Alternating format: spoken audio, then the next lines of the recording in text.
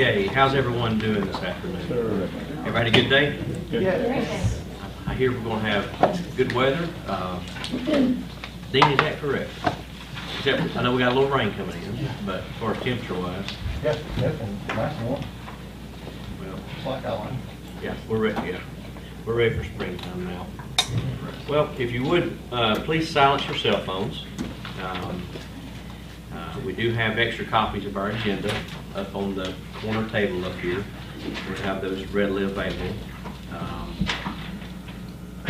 If you don't know where you are, uh, this is a regular meeting, it's actually a combined work session and regular meeting uh, for the White County Board of Commissioners, and today's Monday, March 27th. I've actually got 4:32 this afternoon, and uh, following the agenda, I hereby call this meeting to order. If you would, please rise, we recite the Pledge of Allegiance.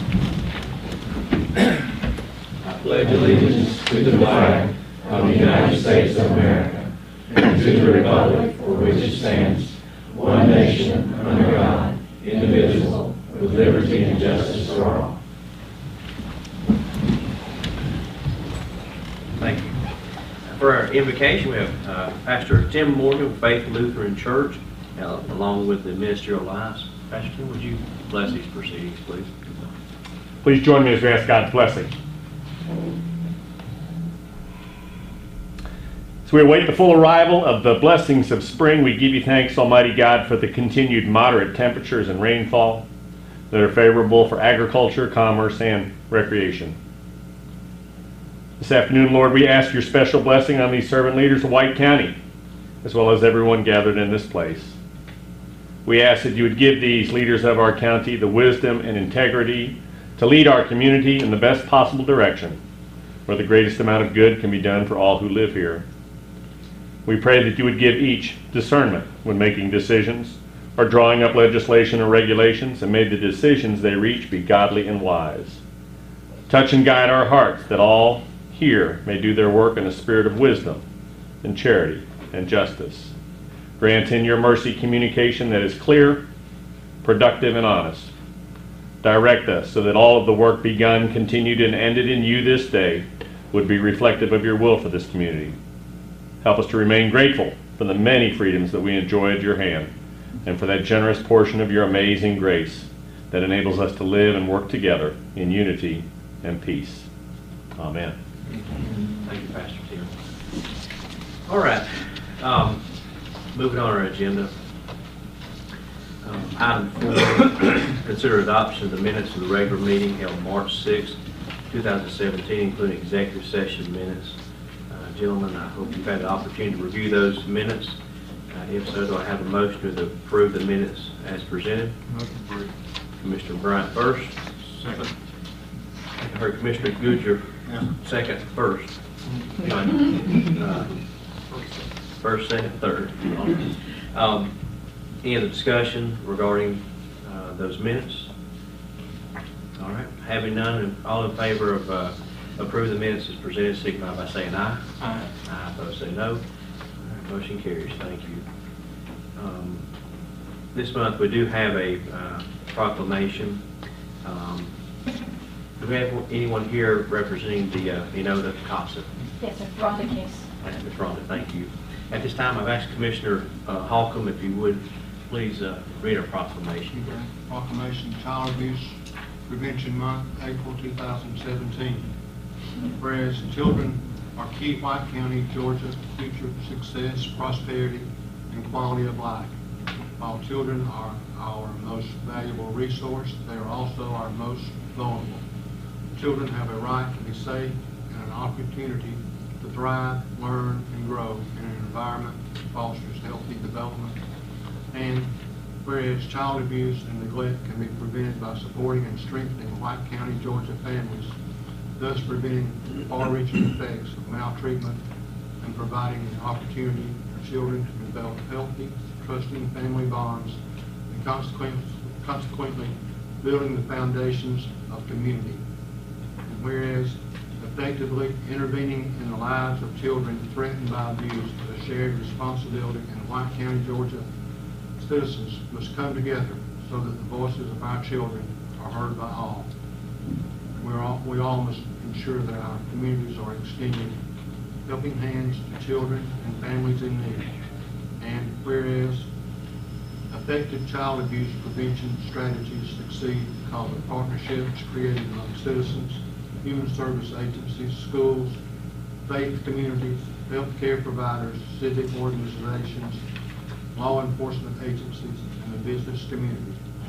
And whereas by providing a safe and nurturing, nurturing environment for our children, free of violence, abuse, and neglect, we can ensure that White County, Georgia's children will grow to their, to their full potential with the next generation of leaders helping to serve the future of this county, state, and nation. Now therefore, Travis Turner, White County Commission Chairman, and Commissioners do hereby proclaim April 2017 as Child Abuse Prevention Month in White County, Georgia.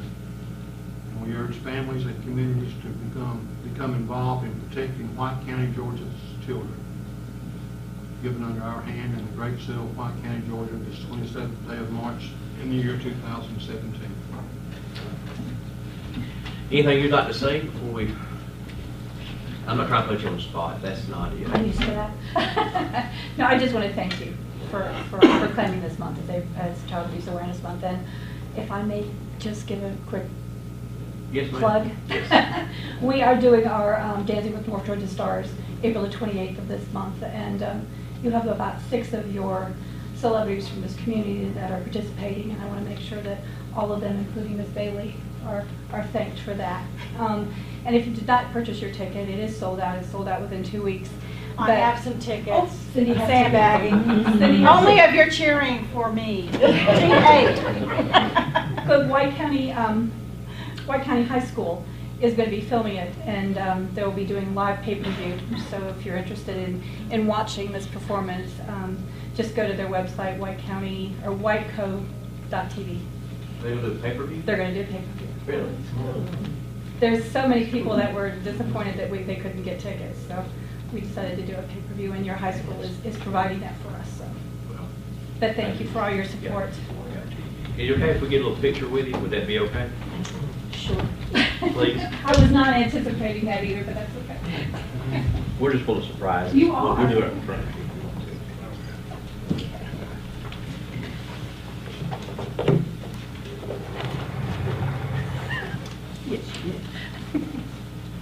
Yeah, we're gonna build a spot in just a few minutes, so we'll start with Debbie.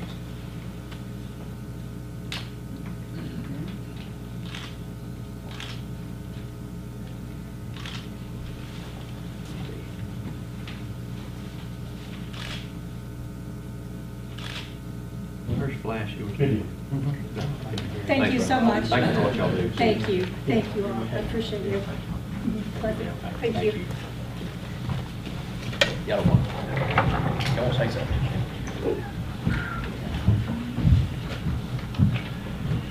June that's when this, Fixing to. Um, nobody knows. Yeah, we, uh, uh, Commissioner Nix is uh, unable to be with us this afternoon. He's actually under the weather, and uh, I spoke with him earlier and expressed to him if he's feeling that bad, we didn't need it. So uh, we'll, he gets a little too close to Commissioner Hoffman and I, so we'll keep, we'll keep that, keep that between us. Moving on, moving on, sorry. Um, Normally, um, at at a regular meeting, for those who don't attend our meetings on a normal basis, we have already gone over a lot of items, but because um, uh, next week is spring break and a lot of folks are going to be out of town this, uh, next week, that's why we are doing a combined work session and voting meeting. So um, we do not have anything under the consent agenda uh, because prior, we haven't had a meeting to discuss these items. So um, uh, This afternoon, we do have two public hearings uh, that we're going to be conducting, and there are certain procedures that we have to follow uh, under uh, land use slash zoning procedures. Um, Some of it, uh, to some of you will be, will be very redundant, but uh, unfortunately, that is the way we have to conduct business, and I'll do my best to keep us in check there. Uh, what I'll do is we'll go over the, I'll ask our staff to go over the request. Uh, A representative from the applicant uh, will be here to answer any questions on behalf of the board. And then what I'll do, I'll open the floor up in the public hearing side. Um, If anyone has any comments in favor of the applicant, um, uh, that, at that time, I'll give you an opportunity, and uh, if there are comments on whether you're in favor, and when I get to those who are uh, in opposition of a request, I'll give you uh, the same latitude.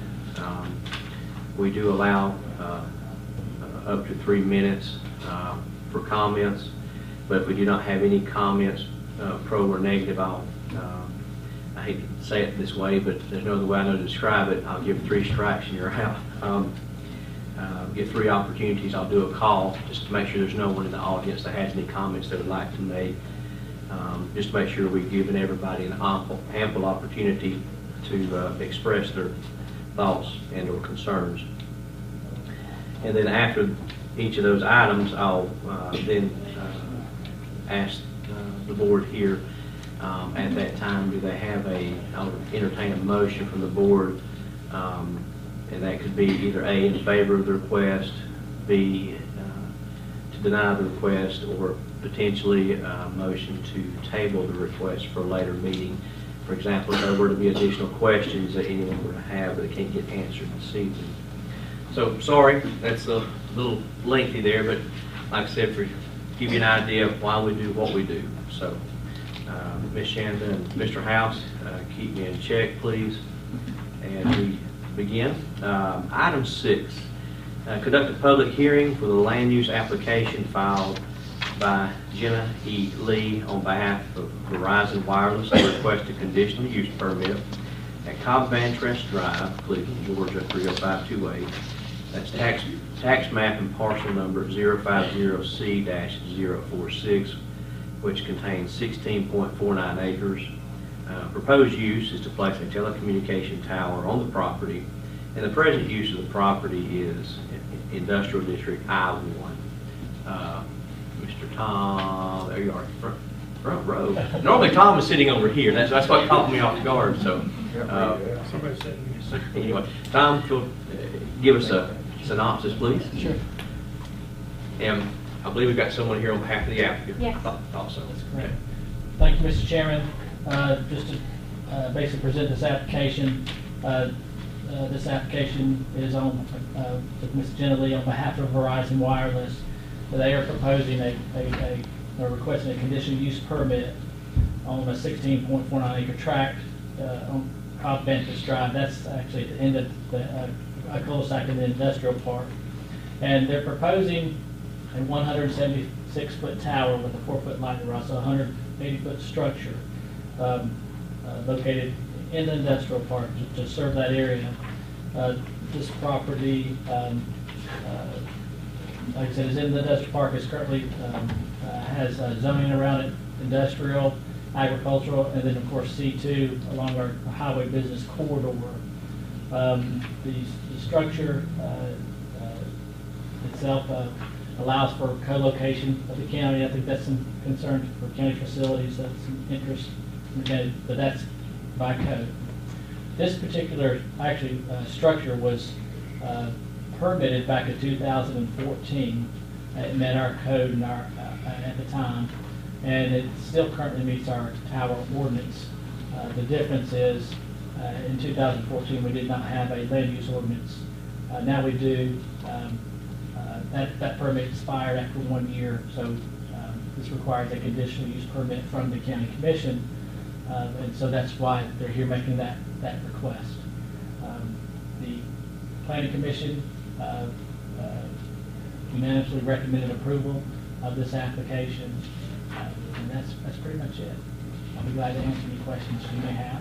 Tom, what, what, uh, what causes this to be a conditional use? But uh, cell towers themselves, just by virtue of, of, of their, their impact, visual impact or potential, ha you know, people think there may be some type of hazard with, uh, with towers. Uh, uh, We have uh, towers like this set up as conditional uses in, in uh, almost all of our districts. And so in this case, it's just a conditional use. Just in case there's other some type of impact that could be. It's not listed as one of the things that industrial. No, sir, it's, it's, it's conditional use. All right. Gentlemen, any uh, comments for Tom before uh, I ask Dan to make any comments? Okay, all right.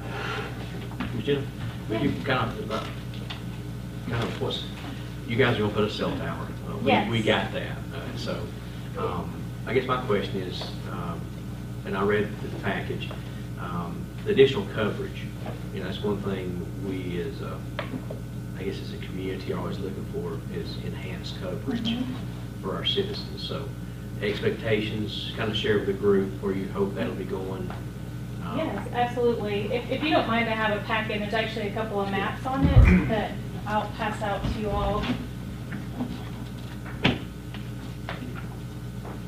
And this shows our radio frequency coverage area.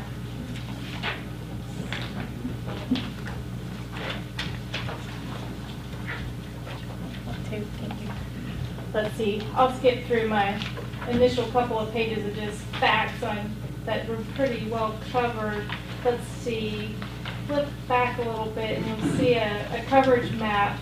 So our target service area for this proposed tower is along that stretch of Highway 129 and in and around the industrial park. So you'll see a slide that's blue with a lot of red and green. This is a map that shows the existing service in the area without the site. And you'll see the red and the yellow illustrate areas with poor or lim, excuse me, fair or limited, I think is the phrase the key uses, fair or limited coverage. So that's along Highway 129 and in that, that, that area surrounding it. And then you'll, if you flip to the next page, you'll see the proposed tower significantly improves that, the coverage on that corridor as shown in green. This site is really straightforward, you know, often we have sites that, you know, we would have six or seven of these RF maps showing, you know, how it impacts the, the network and what we're trying to do with other sites, with other Verizon towers to offload existing sites, but this one is pretty straightforward. There's a, a pretty significant gap in coverage that this tower will improve. For, you know, this is a heavily traveled corridor, so it will improve coverage for folks in cars as they're traveling through and also the businesses and residents in this area.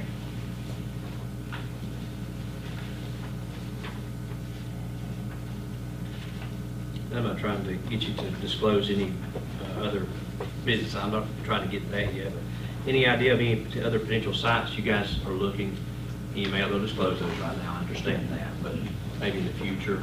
Yeah, well, actually, um, we're always happy to talk about, you know, what, what we're slated, but I actually don't know. Usually, I'm the attorney that submits zoning applications, so they come to me after, long after they've been slated, but we're happy to, you know, follow up with Verizon or put you in touch with the site acquisition folks who would help you. Because if you look at these maps, you'll say, oh, wow, there are a lot of other red zones just in this area. Mm-hmm. So this tower is gonna really target these heavily trafficked corridors, but there's still, as you know, other, other places in the county that could use some improved service as well. And I can assure you Verizon is looking at those areas as well. All right. And this tower does, it's designed to accommodate three additional carriers as well as any county facilities that you all would like to co-locate on the tower as well. Well, uh, we we haven't got that far, I will say thank you to the last part, because we're, al- we're always looking, we've had discussions today, matter of fact, on some stuff on how we as a, as a county can provide better, you know, emergency service radio coverage. Every- What the right word is, I'm looking at you. Um, So thank you, I appreciate that. Um, Gentlemen, any questions for her at this moment? Maybe I'm good with this. It's, it's in your backyard. Yeah, I know. I mean, almost. Did your, did your house go from yellow to green? We can zoom in. My metal building's good anyway. Folks, folks, that is not a condition of this approval. Let- let- let me- let me- I want to get that clear. Free so- strike there. Yeah, that's not a, all right. Well, thank you, and if you will, I'm gonna move on to the uh, public input part of this. Okay, perfect. If you're Thank fine, you. and we'll, if there's any comments, we'll address those as we get to those. Great, thank you very much. All right. All right, at this time, I'm going to open the floor up uh, for those, anyone who would like to make a comment uh, in support um, of the application. Um, Sorry, I'll- I've got a little system here that I do to make sure I I don't shortchange anybody. So I'm officially opening the floor up, uh, and if you do have a, uh, again, comment in support or opposition, when I get, I'll do the supports first, then I'll open up the opposition side or those opposed. Um, Raise your hand, and I'll get to you as quickly as I can. I do need to get your name and address uh, for record, for recording purposes. So if, if you'd like to, you don't have to, but if you'd like to speak in uh, support of the applicant, raise your hand, please, and I'll get to you.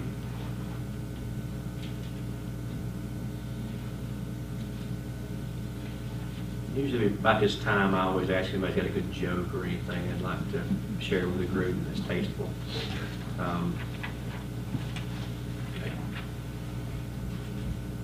All right, I'll do a second call. If there's anyone like to speak in support of the applicant.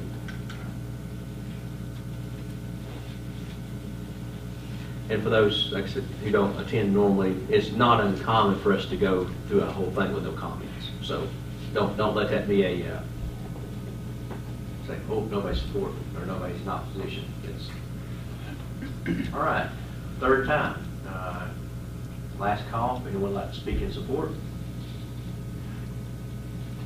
Okay. Uh, Ms. Shannon, if you'll make note of the record that uh, I gave three opportunities for those to speak in support of the applicant. Um, And at- at this time, we didn't have any. So at this time, I'll open the floor up for those who would like to speak in opposition uh, of the uh, tower application in the industrial park.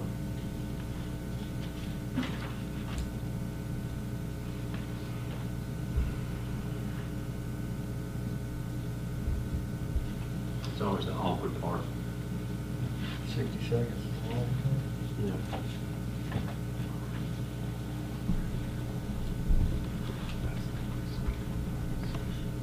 All right, I'll ask for the second time.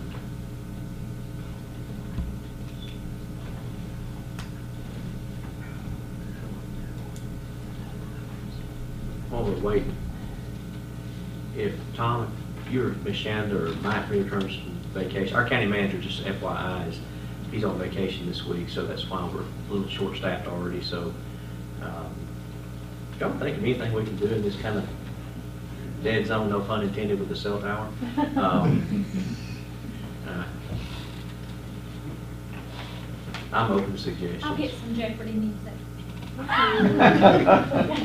All right, last time. Uh, All right, third call. All right, Ms. Shanda, if you'll make note, I gave three opportunities on the, uh, those, give an opportunity to speak in opposition, and for the record, we had no one on the, uh, in support or nor in opposition. Okay. All right, uh, gentlemen, before I move on to the next item, item seven, I'll, I'll ask again that you guys happen to have any other questions for uh, Tom or um, Ms. Lee? I'm good. Okay. And the original applica- application was 2014, right? Okay, I thought so. All right. Okay, all right, moving on to item seven on our agenda. Uh, Consider, consider the land use application filed by Jenna E. Lee on behalf of Verizon Wireless to request a conditional use permit at Cobb Van Trest Drive, Cleveland, Georgia, 30528. Again, tax map, tax map, oh, no, no, tax map and parcel, fifty C 46 16.49 acres. Proposed use is to place a telecommunication tower on property, present use is I one, which is the industrial district. Um, Gentlemen, uh, I'll just cut to the chase. Uh, What is your pleasure on this item? Mr. Chairman, I make a motion that we uh, approve the uh, land use application filed by Jenna Lee for Cobb, for uh, Cobb Venters uh, property for Verizon, uh, approve that, her application. All right. I'll Okay. second. All right, have a motion, Commissioner Goodger, and a second by Commissioner Bryant uh, to approve the, uh, I'm sorry, Commissioner Hoffman, excuse me. Um, Thank you. Um, To approve the uh, conditional use permit for the Verizon Tower. I'm going to summarize it that way. Um, Any other discussion with the board? One question, do you have any idea when they will break ground? Not a firm date, but this year. We're, Okay. we're very aware of this one year expiration date, they plan to move forward very quickly with this one. Cool. And then I'll close, I'll close discussion, uh, based upon a first and a second motion, uh, in support of the uh, applicant. Okay, Gentlemen, I hereby uh, ask for your motion, those, uh, excuse me, I already asked for the motion. Those in favor of the motion signify by saying aye. Aye. Aye, those say no. Motion carries, application is approved. And, uh, Ms. Lee, I do want to, uh, please share with the folks at Verizon, we do appreciate, uh, number one, the investment in our community, but in particular, the enhanced coverage that nowadays, it's just data, whether it's uh, Verizon or another uh, cellular company. Today, people are cutting the cord. Yep, That's- absolutely. That's a fact, and they're getting off local telephone carriers. I'll leave that name mentioned at this moment as well. So everyone who lives here, you know what I'm talking about. So, anyway, thank you very much. I Thank you appreciate very it. much. Tom, I you need anything else from us? Uh, Just work with issuing the tower permit. Okay, all right. Thank you. Thank you. Feel free, uh, Ms. Lee, if you want to stay the rest of the evening, but, uh, Thank you, I have a long drive ahead. Well, thank you, and I appreciate it. Okay, um, all right, next, we have another one of these. Uh, And don't take that any negative connotation, but, um, last six, eight months, uh, it seems to happen, we have two or three land use applications, they seem to come in bunches, so, bear with me, because when I just went through that side, I've got to go through this again. So, uh, it's gonna sound redundant in a lot of areas, but we have to do what we do. Um, um, Item eight, uh, conduct a public hearing for the land use application fi- filed by Linda L. Barnhart to request a conditional use permit at 3287 Highway 129 North, um, 17 Twin Lakes Road, Cleveland, Georgia 30528. That's tax map and parcel, sorry. 032-041, it's three and a half acres, proposed request for residential use on the property. The present use is a C1, which is our community commercial district. Mr. Tom, you got the hill. So let's tabs eight and nine Thank you, Mr. Chairman. Uh, This application, as you, as you said, is on behalf of uh, Ms. Linda Barnhart. Uh, This property is located at the corner of uh, Twin Lakes Road and 129 North. Um, The uh, current uh, land use classification of is C1 Community Commercial. Historically, this piece of property has been a real estate office. Um, And anyway, Ms. Barnhart has come in to request a residential use on this property. Residential use is allowed in community commercial C1 as a conditional use. Um, This application um, does meet, uh, has met all of our requirements, uh, does meet all the health department requirements for residential use as well. Um, The uh, understanding is that uh, there's somebody, uh, there's a client that's going to live on the premise and also operate a child daycare, which is an allowed use in community commercial as well. Uh, The neighboring properties around this uh, property are community commercial, C1, to the north, residential single family to the south, uh, C1 uh, and agriculture to the east, and C1 to the west. So it's right there at that corner where all 75 come together. And There's a number of uh, small commercial businesses in that area. The future land use map for this area shows it as a community commercial corridor uh, with residential, uh, uh, residential uses set back further off the corridor. So that's what the future land use of that is. Uh, The planning commission did make a recommendation for this property uh, to to approve the conditional use. At the planning commission hearing, there was an issue that was brought up by the public that uh, possibly would be use of uh, agricultural livestock on the property, um, alpacas and goats, that's what was pointed out, that information, a letter was submitted to you uh, uh, on that. Our ordinance does not allow agricultural uses in, in the, uh, in a C1 community commercial district. Uh, uh, Agricultural uses include row cropping, farming, poultry houses, any other type of livestock. And our definition of livestock in our ordinance does include goats, chickens, pigs, or swine, uh, cattle, and, and that, and also includes alpacas. So agricultural uses are not allowed on that property. Uh, So that should address that issue or concern that was brought up at the planning commission meeting, uh, and, and, and what has been addressed and submitted to you as well, so. But, uh, but the planning commission does make the recommendation for approval of residential use of the property. I'm glad to take any questions. Gentlemen, uh, comments, questions, inquiries uh, to Tom?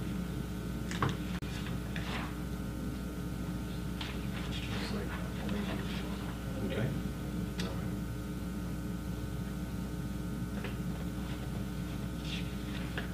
If we don't have any at this time, um, apparently there'll be some coming up in just a little bit once we go through our, I'm gonna present our public hearing side. Um, At this time, I'll give the applicant an opportunity to kind of give us a syn- synopsis of what, what they've got going on. So, Ms. Maher, how are you? Good, how are you doing? Um, she, the lady that wants to buy the building, um, she just wants to have a daycare. Now, she does have some pets. She doesn't have any commercial use. Uh, she's not, you know, raising the livestock enough to sell, she just has some pets. That seems to be an issue for some reason. Before I bought the place, it was a house, um, it had chicken houses on it. Since then, it's had pigs, it had a cow one time. Um, there's three and a half acres. So I don't see that there's a problem with her, the lady that wants to buy it having pets. She wants to conduct a childcare business and live there. Mr. Barnhart? Yes, sir. uh, Just a clarification. So it's gonna be a daycare center, correct? Yes, sir. All right, is it gonna be registered with the state? Yes, sir. Or just gonna be, the person living there is gonna have three or four or five of their family kids there? No. Because, so again, reading in the notes, my understanding that if it's gonna be registered daycare, not a, keeping, you know, No, it's not your next door neighbor's three or four Yeah. kids and living there, that, that the animals will be a no, an issue because the state will not allow, is that correct? That's correct. Because I'm reading in the notes, and I'm, not- I'm just saying, it looks like that somebody wants to live there and and have, you know, like I say, their, their friends, you know, so I just want to make sure this is going to be registered. This is going to be literally a business. Yes, sir, it is. Absolutely. Is business with them retaining their personal residence Yeah. on the premises? Yeah, well, we did that one, one, a few months ago. And I understand on, I understand on the animal side too, you know, I'm just looking at the, no disrespect to liability, you know, if you got alpaca or something, you got three or four kids, and one reach over and does buy one, I mean, you know, it's Sure. there, so. What's the, it says C one, there's, you can't have livestock in C one, right? Correct. But- And we're saying this lady has pets. She has pets. What, is there a fine Dogs, cats, I mean, is that, I, What's the fine line between pets and livestock and we're concerned if, if there's alpacas or whatever running around there. And that- Doesn't, doesn't this property adjoin the driveway of the other property? Uh, Property does adjoin, are you talking about the property south? I believe is what you're talking about, Yeah, yes. yeah. Uh, It does, it does, it does adjoin that, this does adjoin that property. Uh, It's accessed by diff, by different driveway. Um, uh, To answer your first question, our ordinance identifies livestock and it, and it- gives a definition of, you know, cattle, uh, swine, number of different types of animals, buffalo, bison, bison, uh, and but it does also include alpacas, goats and alpacas as, as livestock. and that's prohibited use, uh, or as, as associated with agriculture, it's a pro- it's a prohibited use.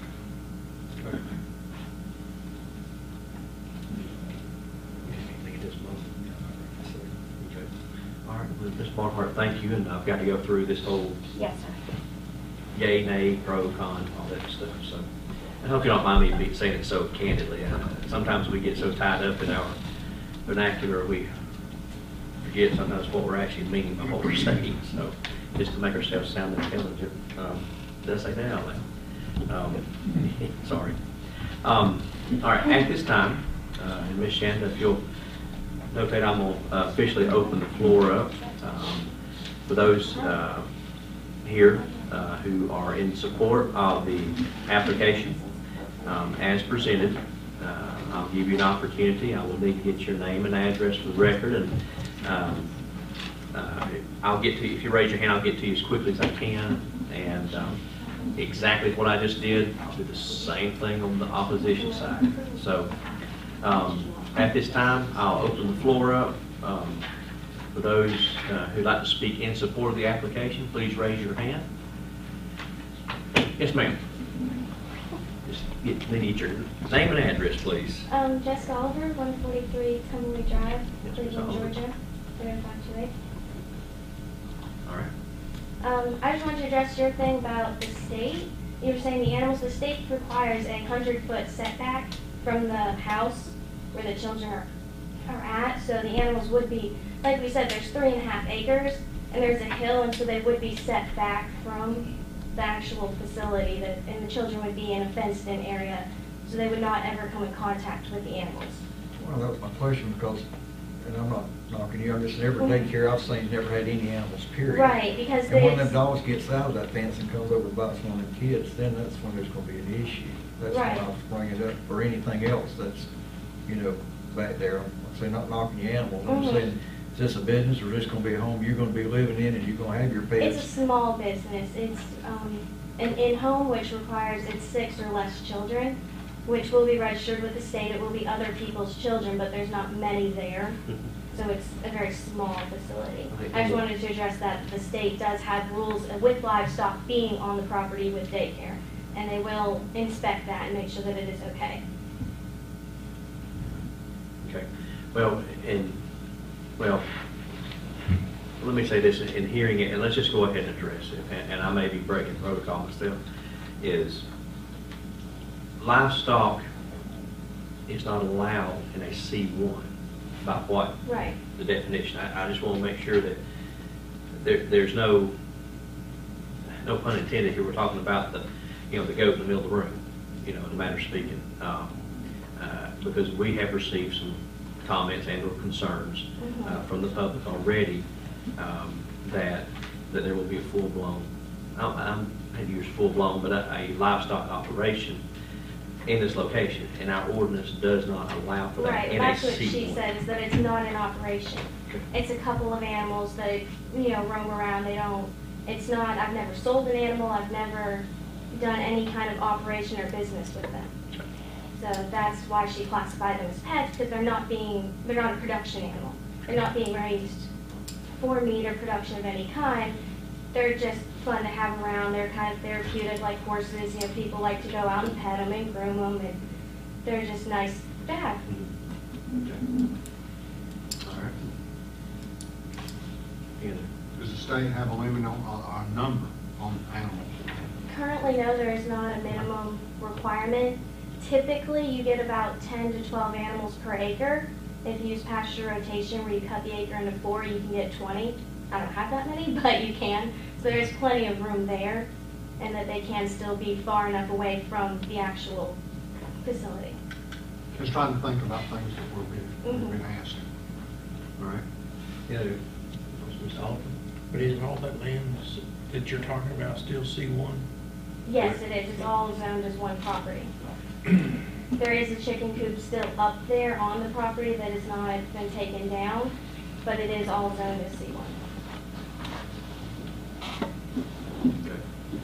All right, we'll get into more questions here in just a second. I need to continue, but, and thank you for allowing us to ask you. This is why we're doing what we're doing. This is why we go through this process. All right, is there anyone else who'd like to speak in support uh, of the application? Okay. All right, and I'll ask for a third call because we're well past my, as far as number, uh, my time limit that I always try to set, so. um, Third call, anyone who'd like to sp- speak in support? Okay, all right. Ms. Shanda, if you'll note that uh, uh, I've closed the, um, uh, in support of the application. Um, and Ms. Oliver uh, with her comments, please, or no, take that, please. Um, At this time, uh, now we're going to take the uh, opposition of those who are against the, uh, the application or, and/or have, perhaps have concerns regarding the application. Ladies first. I hope it's not age before beauty. No, I said ladies first. No, ma'am. It's not, no, no, no, no, it's not age before beauty. No, ma'am. No offense, but just being real. I'm just, I'm Grace Frank. it's beauty before age. I'm sorry, Grace. Go ahead. I apologize. Let's get serious. We have to laugh, keep trying sometimes. I'm Grace Briggs, and I'm the CEO of ACE, or Access to Capital for Entrepreneurs, which um, is next door to the property. And my husband sends greetings, Larry. He was not able to be here because he's teaching in Michigan tonight. Um, Ms. If you'll give us your official address just so I can get Yes. on the recorder. um, I live at 1727 Turner's Corner Road, Cleveland, Georgia, 30528. And the address for the office is thirty-one seventy-three Highway one twenty-nine North, Cleveland. We have that in our package. I just want to make sure I've got all of Uh-huh, our yes. notations done. Okay, thank you. The, um, the office is the corporate headquarters and also the operations center for a lending, a financial operation. And we help small businesses to grow by providing capital with coaching for the small businesses. Um, we now have twenty staff and serve sixty-eight counties, and thirteen of those staff are right there in that office. Um, I think the, the concern is that if there are animals like alpaca, goats, livestock, that there's gonna be odor, flies, runoff, that kind of thing. And that could affect the, um, professional demeanor or character, the nature of, uh, of our business. Um, Great concern about that. I do want to say that as people who support small business owners, I mean, we, we are not against Ms. Oliver um, living there and having her daycare and having a successful business. It makes sense that um, for a small business owner, any way you can, you know, combine your expenses, um, that you can have a better living. It is only the, the, the livestock being next door um, that we have concerns about. Thank you. Thanks, Ms. Grace. All right, Mr. Syfan?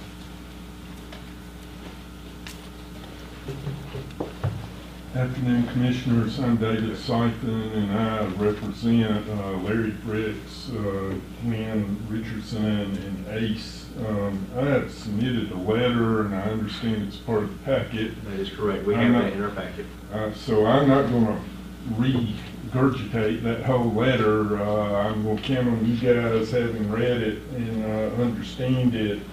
Um, I do want to say uh, a couple of things, though. Um, To say we're in opposition is a little strong. Uh, We have a win-win solution, which uh, is something in zoning that I always try to look for. Um, The issue that's sort of coming up from a legal viewpoint is that your ordinance doesn't define what is a pet. So it does define livestock, but it doesn't define pets in any form or fashion, and whether you can have a pet that is a livestock. So we are wanting with this conditional use to sort of address that ambiguity in your ordinance by way of reasonable conditions to be imposed on the property. And, and that's why you have a conditional use, is that it's not something that's ordinarily allowed, but it gives the board the power and authority to impose reasonable conditions to prevent adverse impact to the neighbors by allowing the conditional use. So as Ms. Frick said, we're excited about the daycare, we're fine with the daycare, that'll be a great use of that property. We're fine with Miss Oliver living there, we, we don't have any problem with that. But if I understood her correctly, you know, she was saying that we could have up to twenty alpacas on the property, which she would consider pets, even though they're livestock. So that's the issue. We kind of need you guys to look at it and address it. And again, the reason why you have conditional uses is it gives you the power and authority to put reasonable conditions on that use to protect the neighbors. Um, as Mr. O'Brien said, um, under the uh, community commercial district, uh, an agricultural use is not an inherently allowed use. You look at your definitions under Article 22 of the zoning ordinance, and it defines agricultural uses as raising crops and livestock. And again, as Mr. O'Brien indicated, livestock specifically defined to include um, equine, bovine, and uh, swine, which we all know as uh, horses, cows, and uh, pigs, uh, and related animals um, such as goats. And also, it also includes non-traditional livestock such as alpacas. Um, Miss Oliver does have a website on the internet that's Autumn Hollow Alpacas. And she indicates that she raises alpacas for fiber animals, which I understand that they cut the wool or whatever the alpaca uh, fur is and, you know, make sweaters and whatnot. And, uh, and also indicates that they can be pets. So, uh, at least her internet site is saying, hey, you can have an alpaca as a pet. And again, she's bringing it up today, and, uh, and I almost said, if I understood her right, that she could have up to 20 on the neighboring property. Um, of course, under your conditional use provisions of the ordinance and its sections 1807 and 1808, as I've stated, you can uh, impose reasonable conditions. And we think a win-win situation would just be that y'all impose the reasonable condition of no livestock, and then we don't have to argue over whether it's a pet or whether it's not.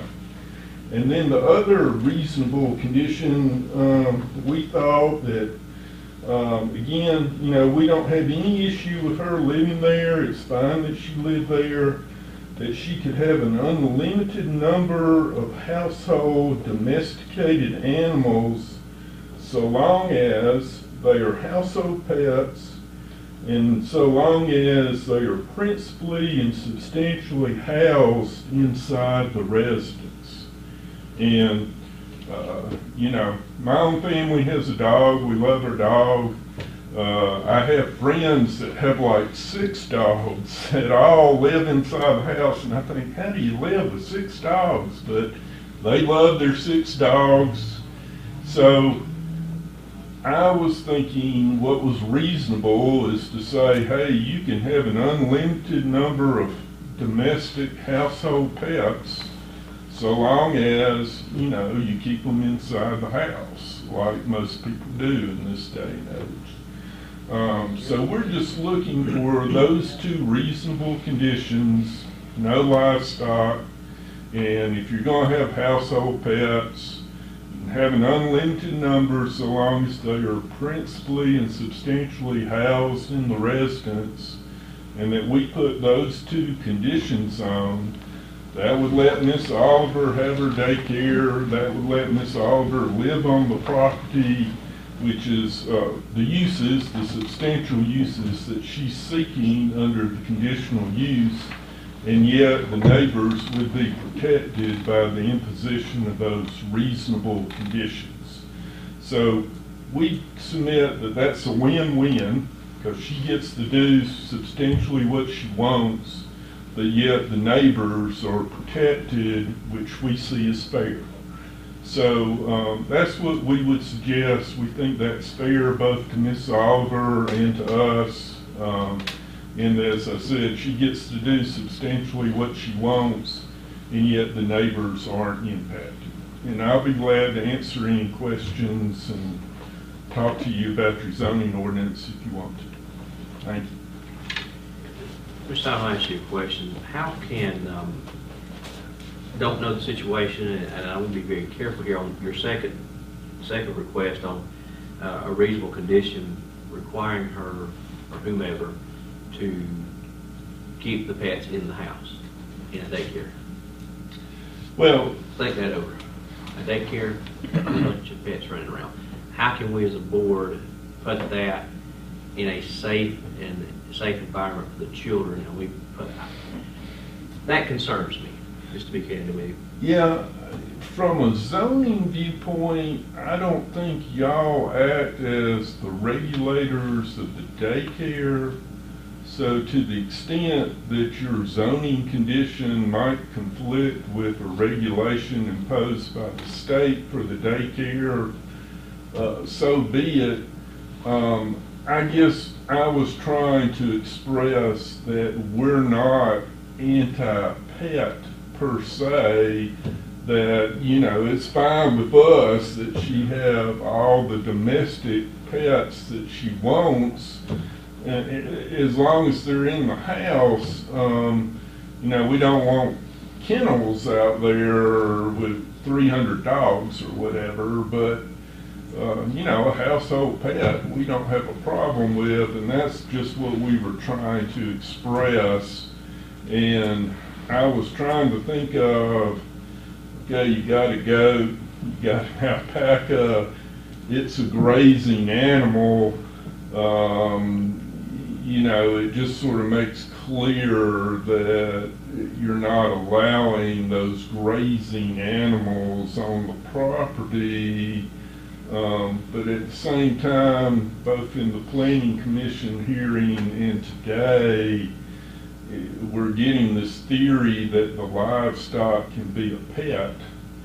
And so I was trying to distinguish between a common household pet and something unusual like an alpaca being a pet, uh, you know. You know. don't want an alpaca in the house, is what you're saying. I mean, I. Well, Not I you. wouldn't want an alpaca in the house, but, uh, But wouldn't the state regulate that though? I mean, if, I would- this goes back to my comment of it's either daycare or it's, it's But, not. so. but of course, on zoning, you know, what you got is you got an expression of intent, but that intent may or may not occur. And, you know, she can intend today in good faith to have a daycare, and then tomorrow something could happen where she's not gonna have a daycare, uh, but she's still gonna live on the property. And then, you know, there would be no state regulation regarding livestock being near a daycare applicable. So with zoning, you gotta think about the fact that they have inherently legal allowed uses.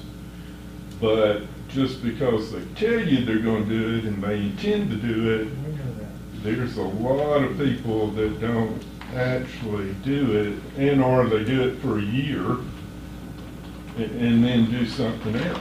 But when you, when you have a conditional use and you change the, and you change your use, then your condition, your conditional use that was permitted goes away, right?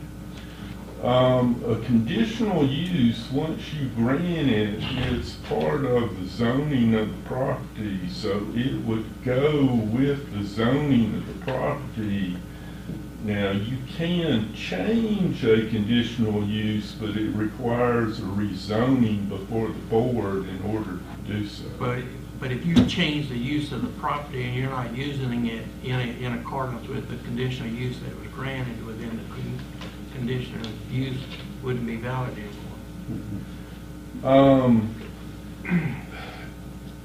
let's say you impose the condition of no livestock, okay? And let's say that she does put twenty alpacas on there. Uh, what she would have done, she would have violated your zoning ordinance. But our, but right off the bat, C one says no livestock, so that wouldn't have happened. Well, C one says no livestock, but your ordinance also doesn't define what a pet is. So there, You were, you were using it in a, in a commercial term as livestock, and I was just saying that, you know, the commercial term of livestock wouldn't be, wouldn't be able to be used there anyway. that's the way I interpret your ordinance, that livestock is defined as certain animals not conditioned upon the commercial use of the animals, but your ordinance is not clear about that. So, uh, you know, I think one our ordinance argument is only debate- just not clear about what's a pet. and your ordinance is not clear about what's a pet. But one argument that they presented before the planning commission is, hey, I'm not using my alpacas for commercial purposes, and therefore they're not livestock, they're pets. So, But I'm just saying that any time that we would grant something as a conditional use of the property, and you used it for some other purpose that was in violation of that, well then, we, we could revoke that conditional use. You could revoke the conditional use, um, that is an option to the board. Um, you know, you could enforce the condition imposed also, which would be an option of the board. I mean, I wouldn't want her to lose her home because she intentionally violated your condition no livestock by putting an alpaca on there. I would want the board to enforce the condition of no alpacas on the property. If you see the distinction I'm trying to. uh, Any other comments from Mr. Syfan? Okay. I did have a flashback when you sent me that five pages there, David. I wonder you know what it was. Well, uh, I It's can hard to be- read on your phone when you're rolling her up there. I I can be thorough, uh, that is I know what's true. going on there. All right. Mr. Syfan, thank you. Thank you. All right, um, I'm gonna give an additional opportunity. Is there anyone who would like to speak uh, against and/or have concerns um, against the application?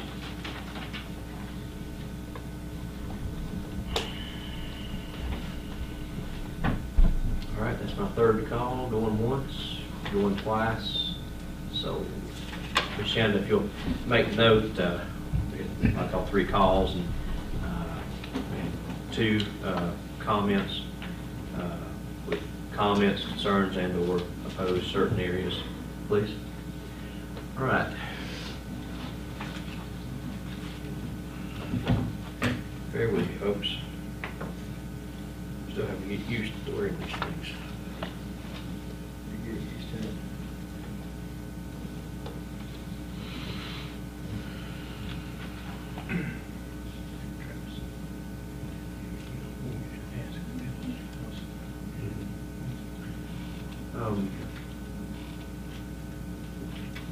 Bill, we're still in kind of the public hearing section, where I close that part of it, we can still ask questions of you as our legal counsel.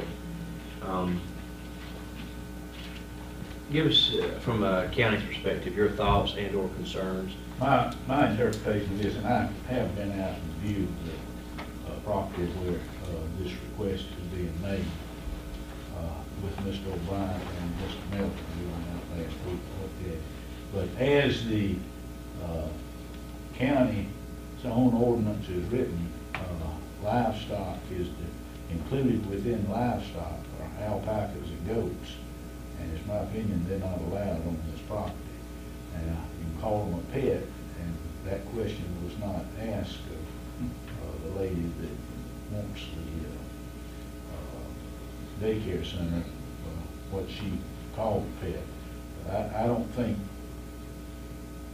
you can look at what we have defined as livestock and say it's pet. So I, I do agree, and I, I feel like that, uh, at this point in time, that if you're in agreement with what I'm saying, that uh, alpacas and goats are livestock as currently defined under the ordinance, that at least condition one ought to be put in. And you do have the right, in my judgment, in granting the uh, conditional permit that that you, you put conditions on. Thank you. Yeah, any other questions from Mr. House? We're in mud now. So clear as mud? Yeah. Oh, And it, it's possible, going a little bit further, the county may want to consider at some point in time defining what a pet is. I think that'll be up to Tom. So we'll, we'll address that. We'll get through this particular section and we'll, we'll continue that conversation. Um,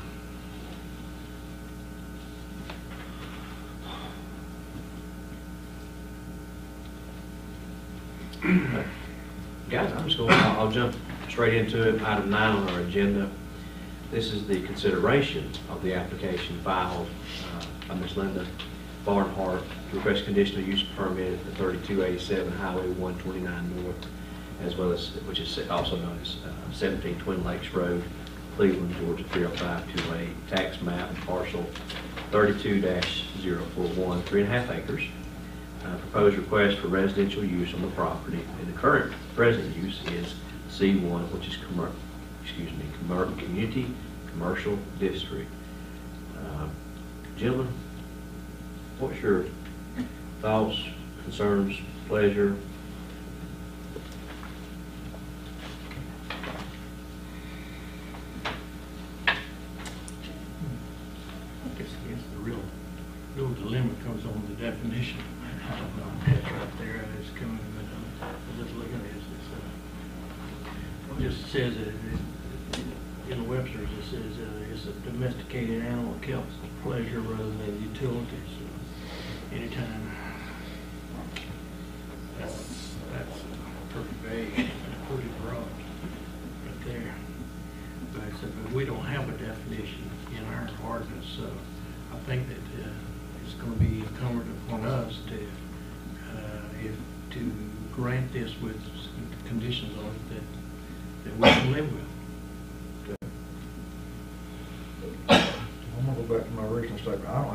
The daycare, I don't.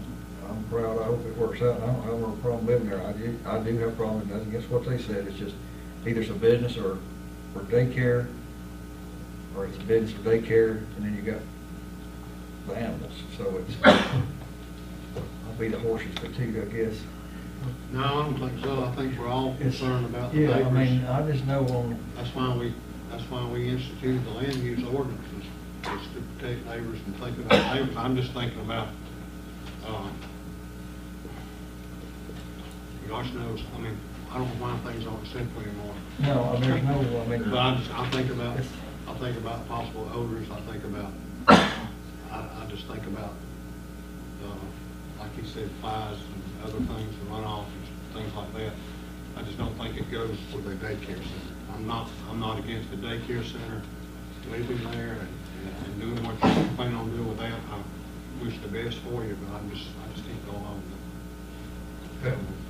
Can't have both. I think, it- I think you've got the problem with the, you know, that the state law says you can't have an animal there, that's, that's, that's right. Then you either, you know, you either got them or you, or you don't have, 'em. it's either, like you're saying, is either a, uh, business as a daycare or it's a residence with animals. Well, the application is, keep as a C one with conditional use to live as a personal residence, and the business side of it would be for the daycare. Mm-hmm. And I think if we make a motion to that effect, and then with a special, I, I hate to use the word, another special, special condition or a caveat, or the term is used, I think, reasonable use, was that if that's the concern of the board, that we grant the, ask for a motion to grant the uh, application, approve the application, give conditional use, residential purpose, or you, you uh, live there on the residence on a C1 property under the condition that no livestock shall be used on the C1 purpose based upon our definition of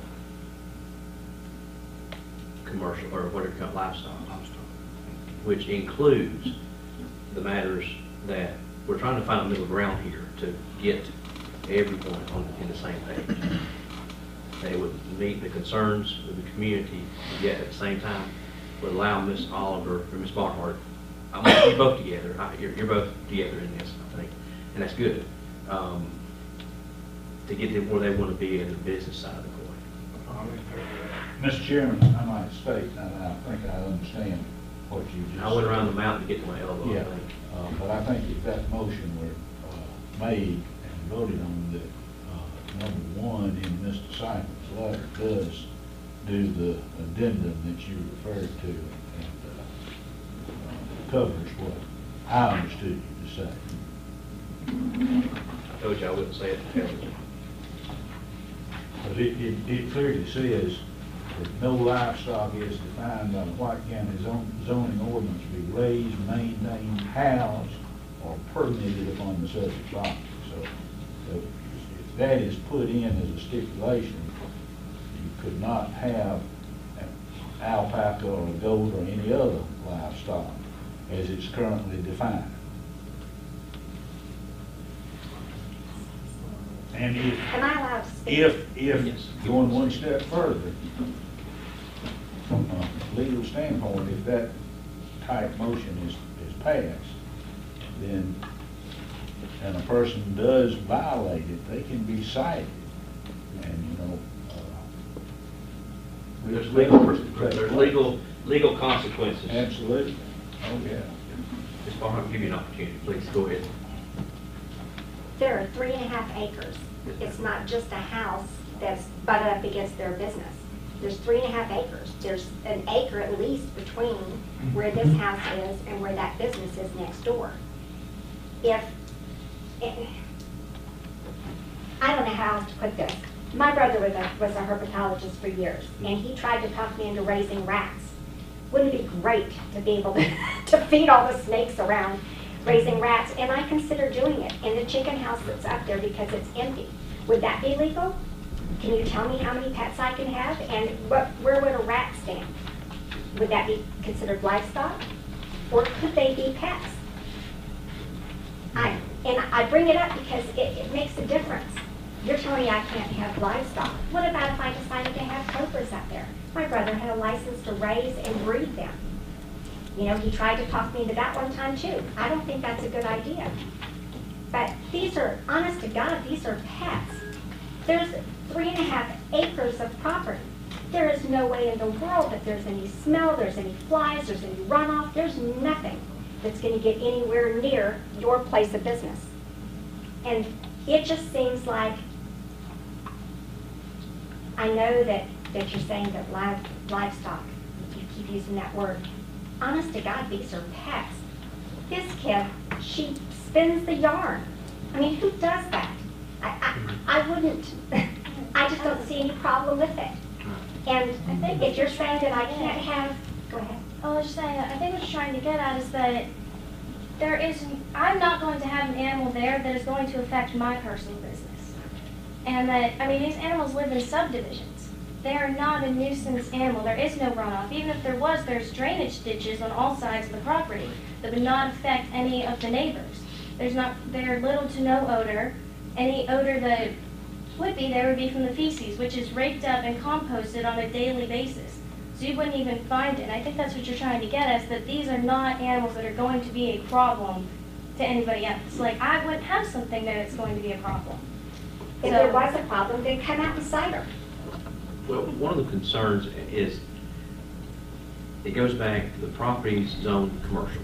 Okay. Okay, and we're, and I think I speak for all, all the guys up here, is we want to get you in there, because we are pro-business, and hear us on that. All right? Because a lot of, that's our background, and small business, and I'm not trying to take a page out of, uh, uh, Ms. Fricks's book, but we want to promote business growth. That's what our country is based upon. But the fact is, the property is zoned commercial. And in, I hate to use the word normal circumstances, and I, I know somebody can argue with me, what are normal circumstances? In a commercial district, you do not have animals migrate around, whether it's one, two, five, or twenty. It's just not normal. And I don't, don't take that, this is a special, that's why it's been, it's a special situation. I understand. And it's challenging. Would it be legal for me, I know I can sell just the house and an acre of land to this young lady. Then in the back, since it's zoned commercial, I can raise racks. Is that all right? Mr. House, I need your legal opinion.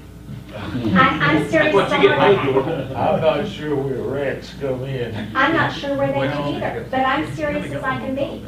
There are a lot of weirdos that like snakes and that need the rats, and I don't mind raising them. I've done it before. They're not out roaming the So, property. great, I'll sell her an acre of land and the house, and I'll use the back for a commercial property. Hold hold on, hold just a minute here. I won't get what you just said. I had three conversations, bear with me. I'm sorry. All right, say that one more time. Okay, maybe this is the way to solve the, the problem. I'll sell her the house in one acre so that she can live there and have her um, daycare business. Mhm. With the other two and a half acres, I already have um, a building, it's an old chicken house. I'll start raising rats commercially, and that is legal. And I don't mind, I've done it before, I can do it again. There's a lot of weirdos that have snakes, they need the rats, Mhm. and I don't mind raising them. Well, Yes. just, just, well, just because you have three and a half acres out there, still doesn't make it, uh, used for agriculture. Now, you could do what you're saying right there.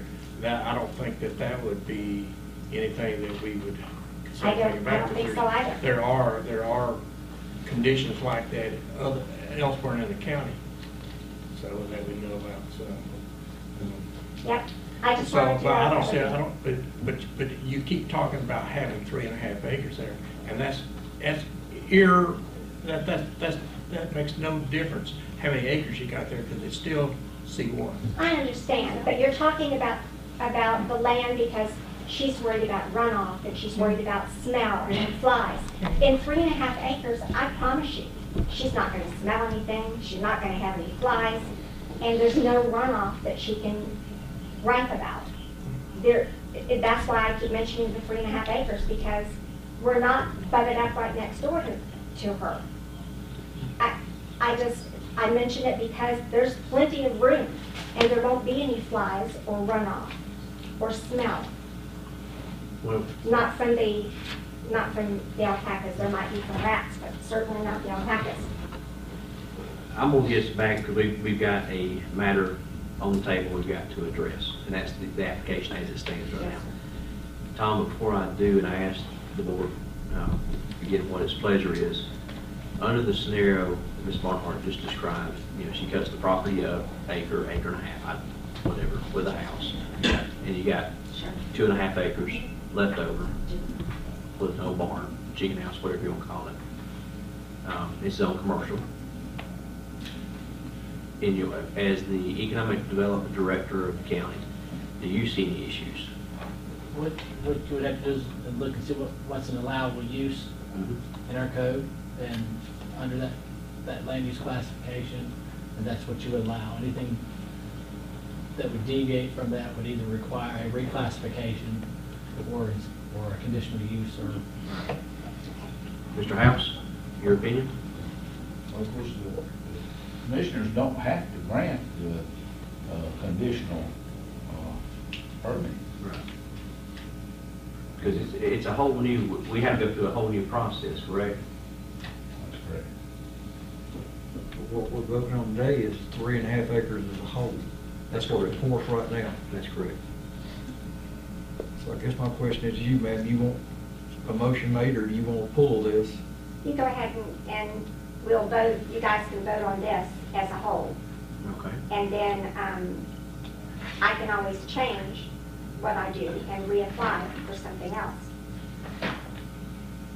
Or I wouldn't even have to do that. Mm, We vote I this wouldn't thing even have to do it's that. The whole track's gonna fall under what we fix to vote on. Correct, yeah. That's right.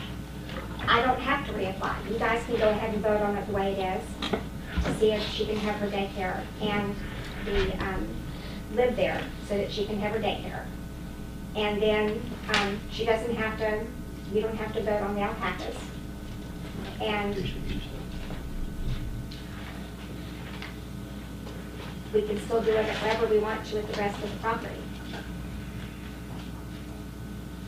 If you split the property bill after a piece of property. You know, I don't even Hold have to just split here. Let me, okay.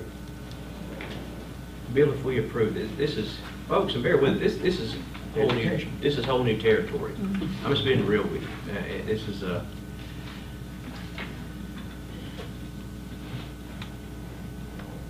I thought, I thought there was some reference in here made about what used to be a chicken house, that's what I'm looking for.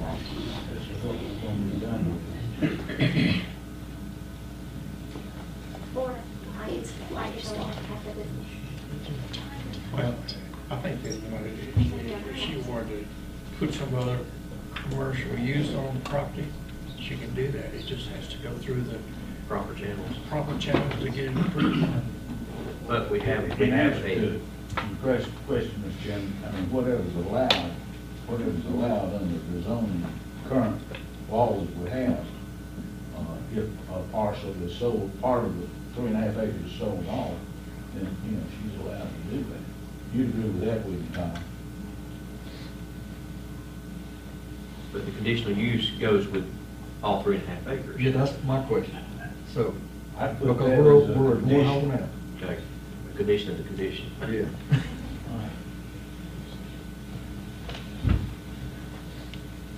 I mean, it kind of sounds, I hate to, I mean, I'm thinking the word choice here, but we're almost hearing a threat Yeah, as to what's gonna be done with that's the the property. I'm taking it too. And I've, I've been in this business a long time, and, you know, that's not, I don't mean it as a threat. Well, that's I what it sounds apologize for that. Well, it didn't, it wasn't meant like that. But if we have three and a half acres and she can only use a portion of it because she's not allowed to do anything else, I can still use the rest of the property for a different type of business that you, that you would approve because it's not listed as livestock and they're not pets. That's a business. Ms. Barnhart, no disrespect, I'm going back to what I said, if on a three and a half acres, if we vote on this, then we're gonna find, all, this whole three and a half acres is gonna fall under this motion. Okay, So that's now you're gonna have to turn around and, I mean, you that's why I asked. Yes, sir, that's fine. And I'm I'm gonna be fair, Mr. Syfan, quick comment. Um, of course, raising rats has not been, uh, brought up previously. Um, I agree with what Mr. House says.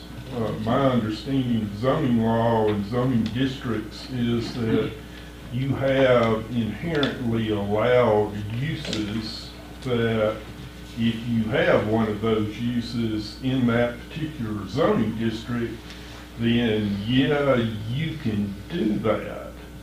Uh, But if it's not within the specific list of inherently allowed uses, then you're not allowed to do that. And uh, it's been a day or two since I've read your section 1301, but I'm pretty sure that raising rats is not an inherently allowed use within that section for the community commercial district. Um, Some people with their zoning ordinances, uh, you have a list of inherently allowed uses, you have a list of conditional uses, and within those conditional uses, you sort of have a, what I call is a a contingency clause that if a use is similar in nature to what's inherently allowed, then the board as a conditional use can allow it. And, and the reason for that, and you guys know this, it's hard to write the perfect ordinance, and I'm sure Mr. House can tell you that. Uh, and especially with zoning, you know, 20 years ago, uh, we didn't have cell phones. So of course, 20 years ago, a cell phone manufacturing company wouldn't appear in your zoning ordinance. So, uh, you know, what I would suggest to y'all is at least the, the comment that I can raise animals for commercial purposes, well, it's got to be inherently allowed, and right now it's not inherently allowed within your C1 zone. Um, it may be that y'all could consider that, but I think it would take a text amendment to your zoning ordinance to allow it. Um, I also agree with the comment that whatever condition you impose on the entire three and a half acres would apply to the entire three and a half acres, whether she subdivided it or not. Um, and if she did subdivide it, then that conditional use, the conditions you impose, would apply to even the subdivided piece of property. So, thank you. All right, I will close the floor. Uh,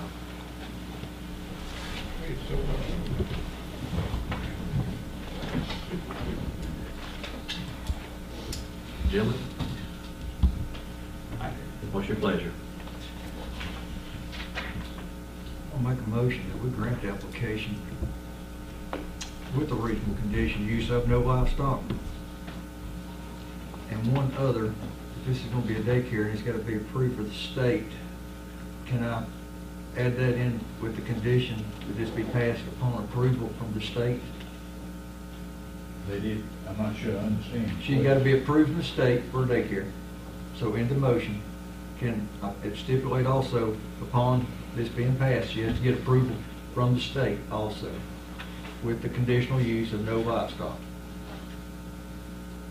Because if it's gonna be a daycare, it'll be a daycare, so it's gotta be approved as a daycare, not a home care just to keep two or three kids, which I know she said she wasn't gonna do. But so it's gotta be approved by the state. So you saying that the only, I I just want to make sure that I understand, that the residential uh, She can live there. condition is contingent upon Be the approved. daycare being approved by the state? So if Correct. she doesn't have a daycare approved by the state, she can't live there? No, she, she can live there, I'm just saying, before the daycare can come in, if she wants a daycare, it's gotta be approved, given by the state, and no livestock. That Because make the sense? daycare would be allowed there either way. She's asking to be able to live there. The daycare Okay. is allowable use no matter what. I think it's just saying about the state, for, for the state. Approval, regulation. because she said she was gonna go by the state and have it approved. I I can leave that out, that's gonna be a big thing. That make any sense? I think you can put that in. It has to be approved by the state. Mr. Bryan, so what's that, you're, you're making a motion to approve the application uh, for the conditional use of the residence being used for residents, Three and a half acres. Uh, along with uh, the applic- applicant being able to also conduct a daycare business under the C1 criteria. All this being contingent upon uh, no livestock uh, being allowed on the premises. Correct. That's my motion. I have a motion. Livestock's being defined for our, for our. Yes. Livestock being, uh, de- defined by the ordinance that's referenced, uh, what livestock definition is in the White County ordinance. Is it, you, is that the second? Is it, okay, all right. Now, we're finally somewhere. Not sure where, but we're somewhere. Uh, I have a first and a second. Um, Any discussion? Um, Give me just a second here, I want to think this through.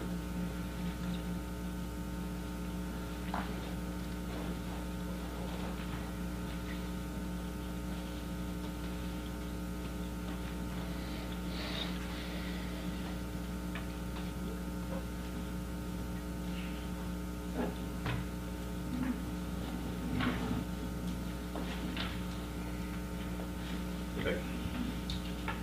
All right, first and second, motion to approve the application as presented uh, with the conditional use, uh, the house being used as a residence, the property being used uh, as a daycare, uh, with additional condition that there will be no livestock located on the premises as defined by the White County ordinance being um, alpaca, cows, Or just be- being defined as livestock. being defined as livestock. Okay. All right. And are you prepared, Tom, to answer that question on the definition of livestock or the ordinance? It's it's in our code. Yeah, I just want to make sure we got, our- everybody's ready. All right. Closed discussion. I have a motion second. All in favor of the motion as presented, signify by saying aye. Aye. Aye, opposed say no. Motion carries. It's approved. I Apologize for this such a lengthy deliberation uh, to all parties involved, but this is a new, uh, these are new grounds, but I hope we reach the middle ground that all parties can be, feel like somewhat protected, I hope. So, um, at this time, because uh, we have been going for an hour and a half, I'm gonna call a five-minute recess or break, five-minute. uh, We will adjourn back here at 6:05. 6:05. Thank you.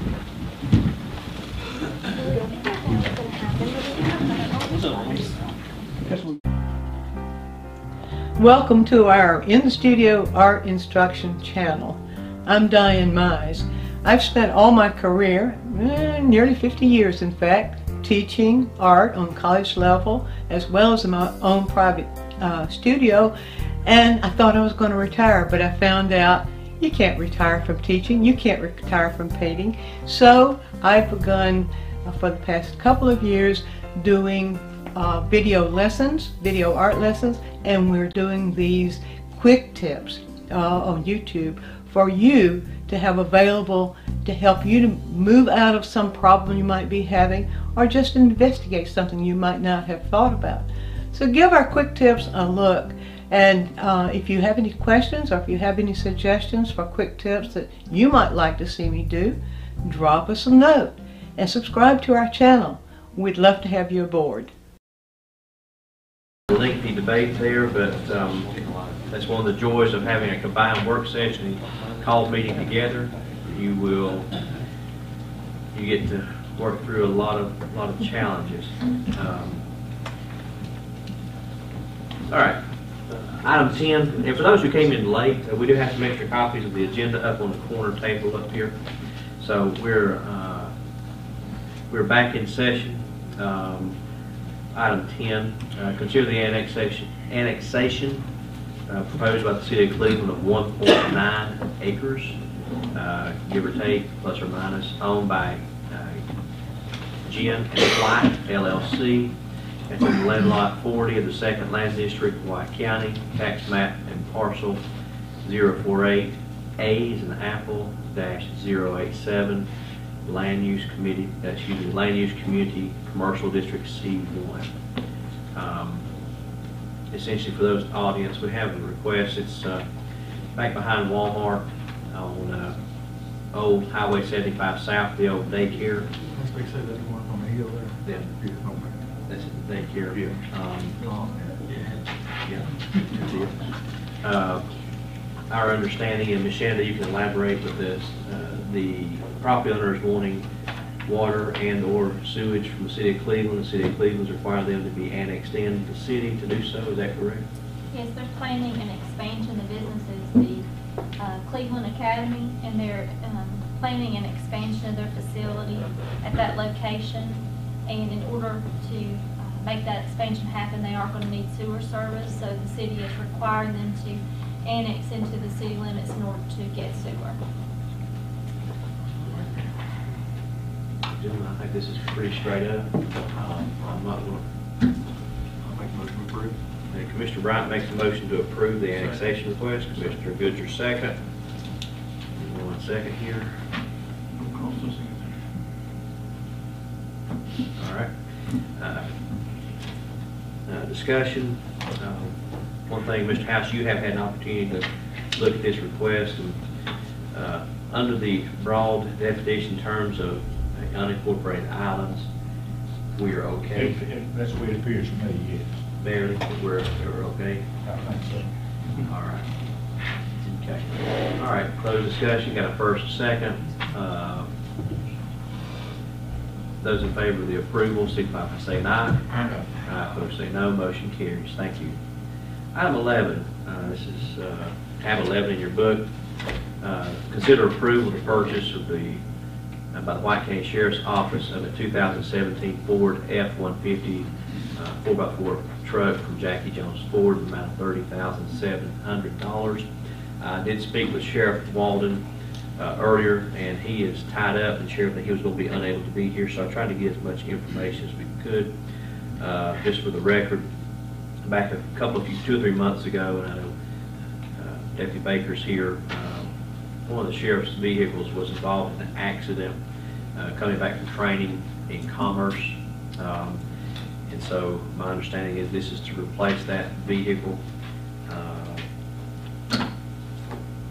Uh, this, the purpose of this vehicle will be used for the uh, CID, which is the criminal investigation. Is that correct? I believe so. Okay. Um, uh, You know, periodically throughout the year, we have to take care of these items uh, for the sheriff's department. Unfortunately, this kind of necessitated this one because of the wreck uh, a couple, of few months ago. Um, We are getting some insurance money. I don't have the exact figure, my understanding is around three thousand dollars. It was an older, I think one of the older Crown Vics. uh, It was an older mo- model Chrysler Sebring that they had Oh. acquired through a, um, a forfeiture. So, um, it was an older model vehicle. We got, it was less than three thousand, but it was very close. It was like twenty-seven ninety-three, something like that. And we told them last month, go find something, so it is. Last motion, I make a motion to approve, and take out some loss, if we do that. All right, Commissioner. That I make sounds a motion we approve, let's get this second, we'll figure out. I think we- In this spot? Yeah, we can always make a change later. I have a motion by Commissioner Bryant to purchase the uh, 2017 Ford F-150 uh, Commercial Investigation Division, Jacky Jones Ford under the uh, uh, state contract, $30,700. Uh, uh, Financing come come from our SPLOST dollars. That's a first. Do I have a second? Commissioner Goodger, second. Any other discussion? All right, having none, all in favor of the approval, signify by saying aye. Aye. Opposed, say no. Motion carries. Thank you. Uh, Moving on to item 12. um, Consider two tax release applications filed by, excuse me, Bobby London for tax map parcel 019-001, A as an apple, dash 01. That is 377 Oglethorpe Lane, Cleveland, Georgia, as well as 019, uh, 001, B as in Bob, dash 001. That gets so redundant having to read those things. Um, I'm sorry. That, that address is 375 Oglethorpe Lane, requesting relief of unpaid taxes on two mobile homes. Do we have a represent, Miss, someone representing Miss London here? Okay, with no representation, Ms. Shannon, do we, uh, since it's on the agenda, do we, as a point of contact, do we need to deny or is? And it's, it's the, it's up to the board what you'd like to do with this. I did speak to Ms. London directly and did advise her that this would- item would be discussed and that um, it would be beneficial for her if she was here in order to answer any questions that the board would have. So she was aware of the meeting. Okay. It's, it's totally up to y'all if y'all want to consider this or if you want to um, table it or deny. It's totally up to you. I don't want to, I do not want to belabor the point. If there- We can't get questions answered. Either we got a motion to approve, motion to deny, or motion to table. I, you know, I think that, uh, I- I'd make a motion to deny based on the fact that most of the time that these are for a hardship case for an individual piece of property and not on, not on property that's being used for rental or commercial or anything. All right, Goodger with the first, do I have a second?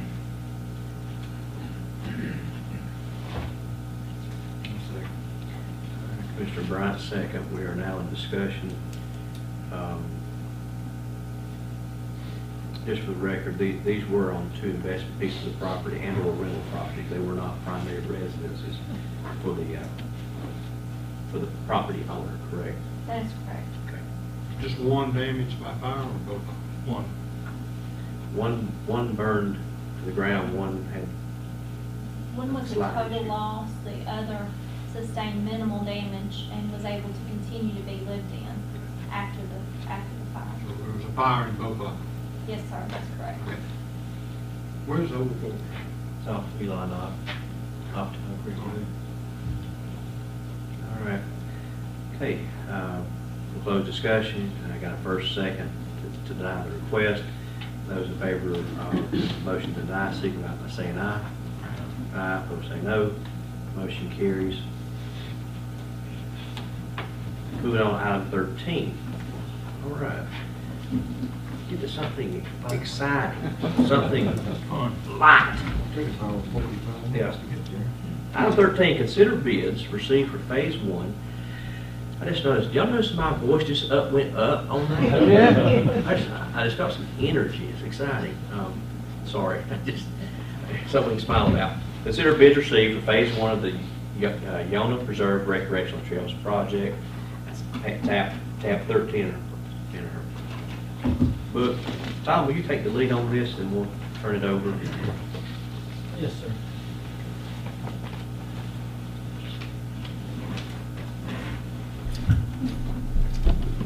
Mr. Chairman, as you know, we've been working on uh, uh, Yonah Preserve for quite some time. Uh, We had our study committee, made recommendations for uses of the property, and uh, one of which was to develop a trail system. We partnered with SORBA, uh, have developed a preliminary plan. Uh, We've taken those plans, applied for funding from uh, the Department of Natural Resources of the Recreation Trail Program, and, um, and uh, uh, are now in the bid process for that. And uh, SORBA is our part, as our partner, uh, have worked with us in, in bidding this project out, and they took the, took the bids, had a pre-bid meeting, I think there were six bidders, and two of which had complete applications, and they do have a, uh, uh, an application to present. I'd like to let Clark present that, if that, if that's okay. Clark, you got to hear. But this, you're right, this is a very exciting news, so. Thank you, Mr. Chairman and Board. Um, This has been a long process, but as Tom said, we had a pre-bid meeting um, and then received bids on the project of Phase One. We received six bids, of which two were complete. Um, Of those two, we chose the lowest qualified bidder um, as our recommendation towards you. Y'all were given all six bids, um, I believe, and also a copy of the lowest bid. It does meet within our grant request. Um, We are recommending that uh, Flow Motion Trail Builders be awarded the grant for phase one. Um, They are well qualified to build trails. Um, They are within our budget, and they're within our timeline. Awesome. Um, For those, uh, most everybody here knows what we're talking about. What, goodness, 18 months, almost two years ago, we applied for the initial RTP grant. Yes. Here we are. We'll finally get to spend that money, we hope. Yes. It's our recommendation. to What was the it. total, total grant? The total uh, grant, the RTP grant is ninety-five thousand. And so uh, we're not, this, this price doesn't use the whole. Well, the component, the contractor price is part of that component. The other part is the overhead that uh, Trail Solutions do help provide, uh, write the RFQ, release it, collate the bids, and have given us directions as well as done the flagging work on property will comprise the other part of that money. So we will be spending the full ninety-five thousand. It's just not all going to the contractor, some of it's going to Trail Solutions. Good, good. And discussions today, um, and I'm already getting the cart from the horse here, um, as uh, draw requests come in, uh, those checks will be cut by the county uh, to flow motion. Uh, There will be um, site inspections done to make sure that uh, the contractor doesn't get ahead of our draws. And we can't keep everybody kind of, it's just business, you don't want a contractor to get ahead of on anything that you do, so. um, Clark, I've gone through the package. In your opinion, you think they'll have it done by what time? Well, their timeline for their construction phase would be to start in June. Uh, Their construction would be uh, complete in August. We have volunteer work that we have to do on top of that. Um, So the project would not be complete, ready to be open to the public in August, but the- the contractor should be done with his property, uh, his part of that by then. And then as we finish up, uh, we should be ready for a fall opening for the phase one.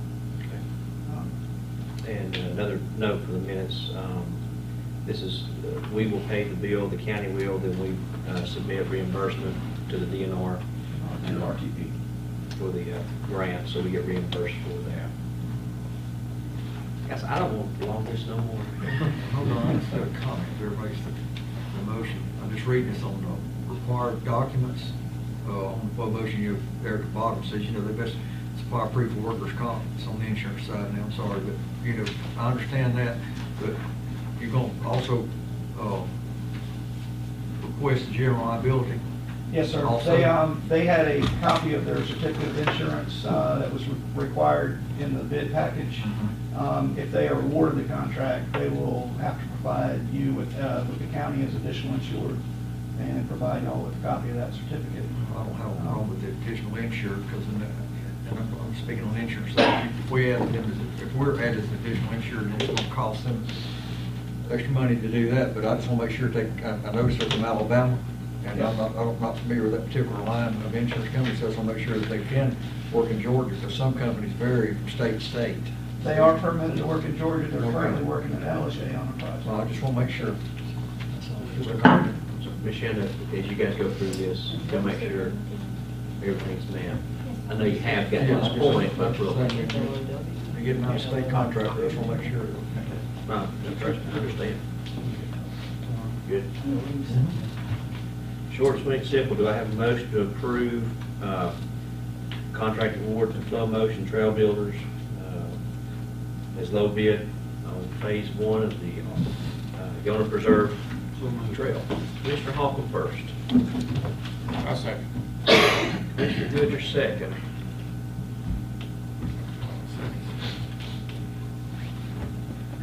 All right, any other discussion with the board? All right, having none, all in favor of uh, approving the motions as, as presented, signify by saying aye. Aye. Aye, opposed, say no. Motion carries, and before we leave, Clark, everyone's sore, but, um, we can't say enough. We appreciate the partnership that you guys in the county, and we're in this game together.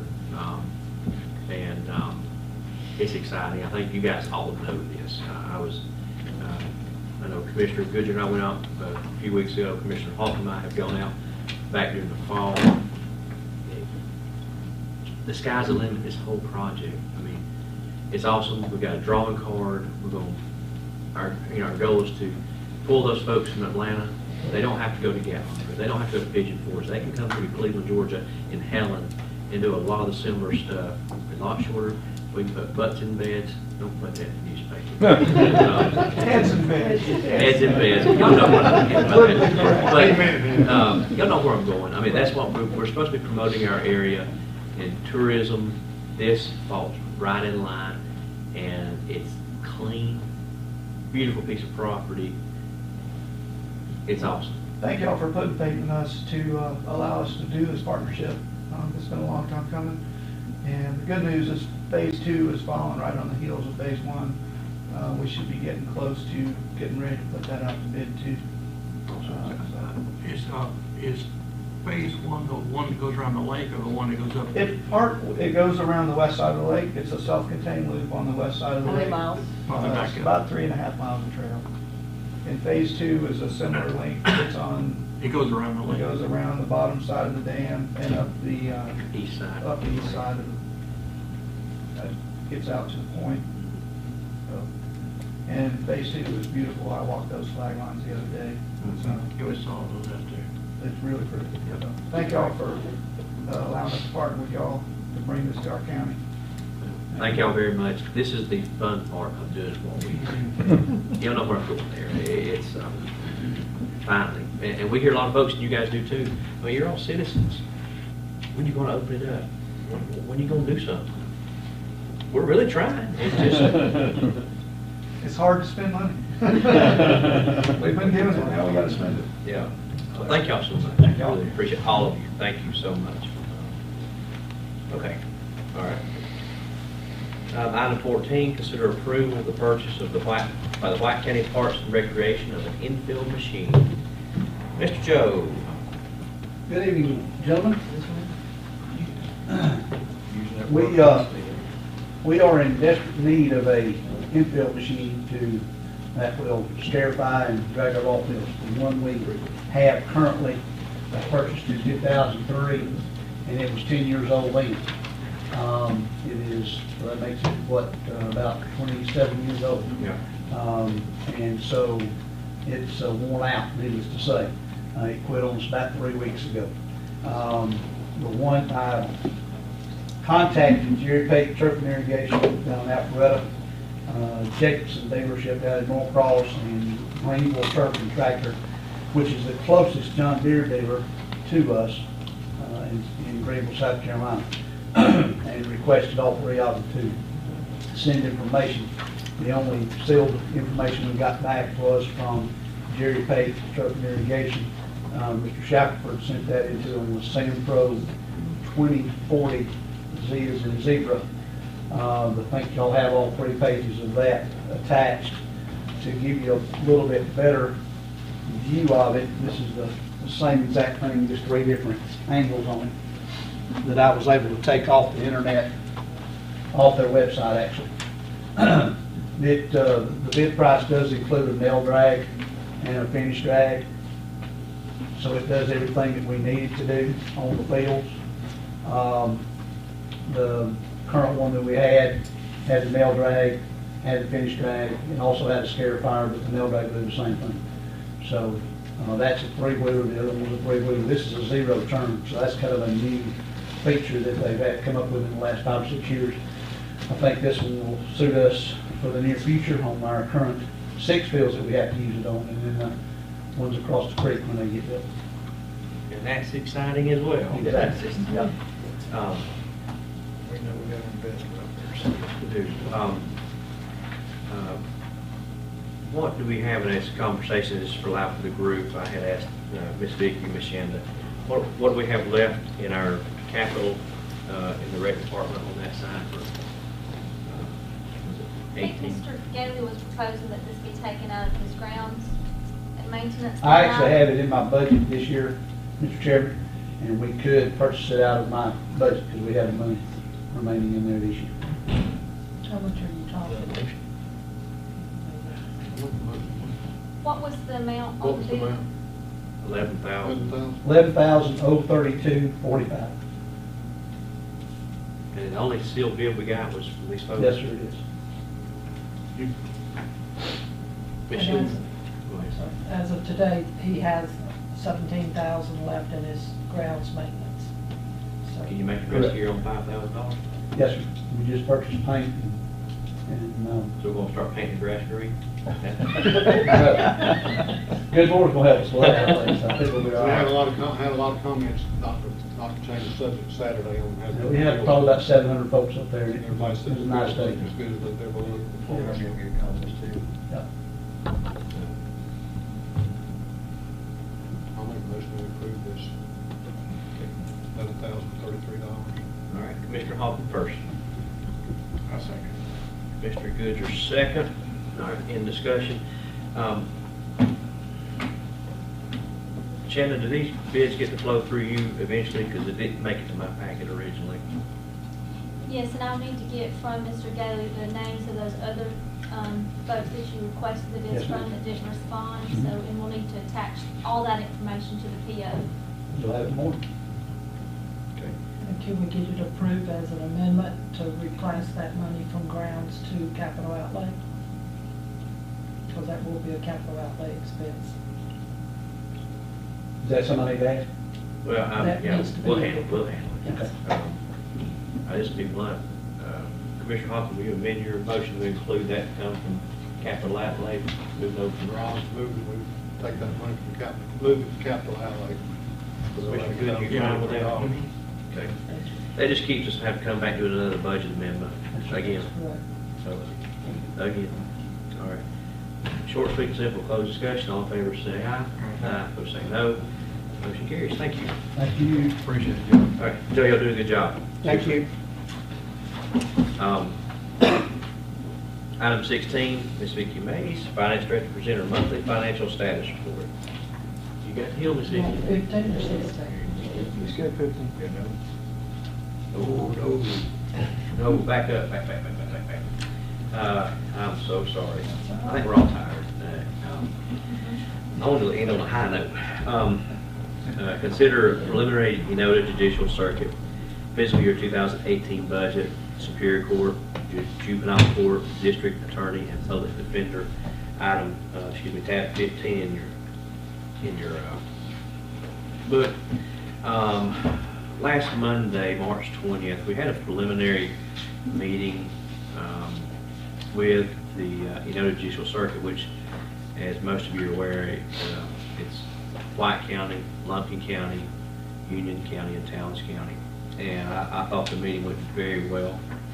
Um, Essentially, I'm to let Ms. Shandy and Ms. Vicki can uh, elaborate a lot more, but um, There are some slight increases, and tho- those are referenced in your packet.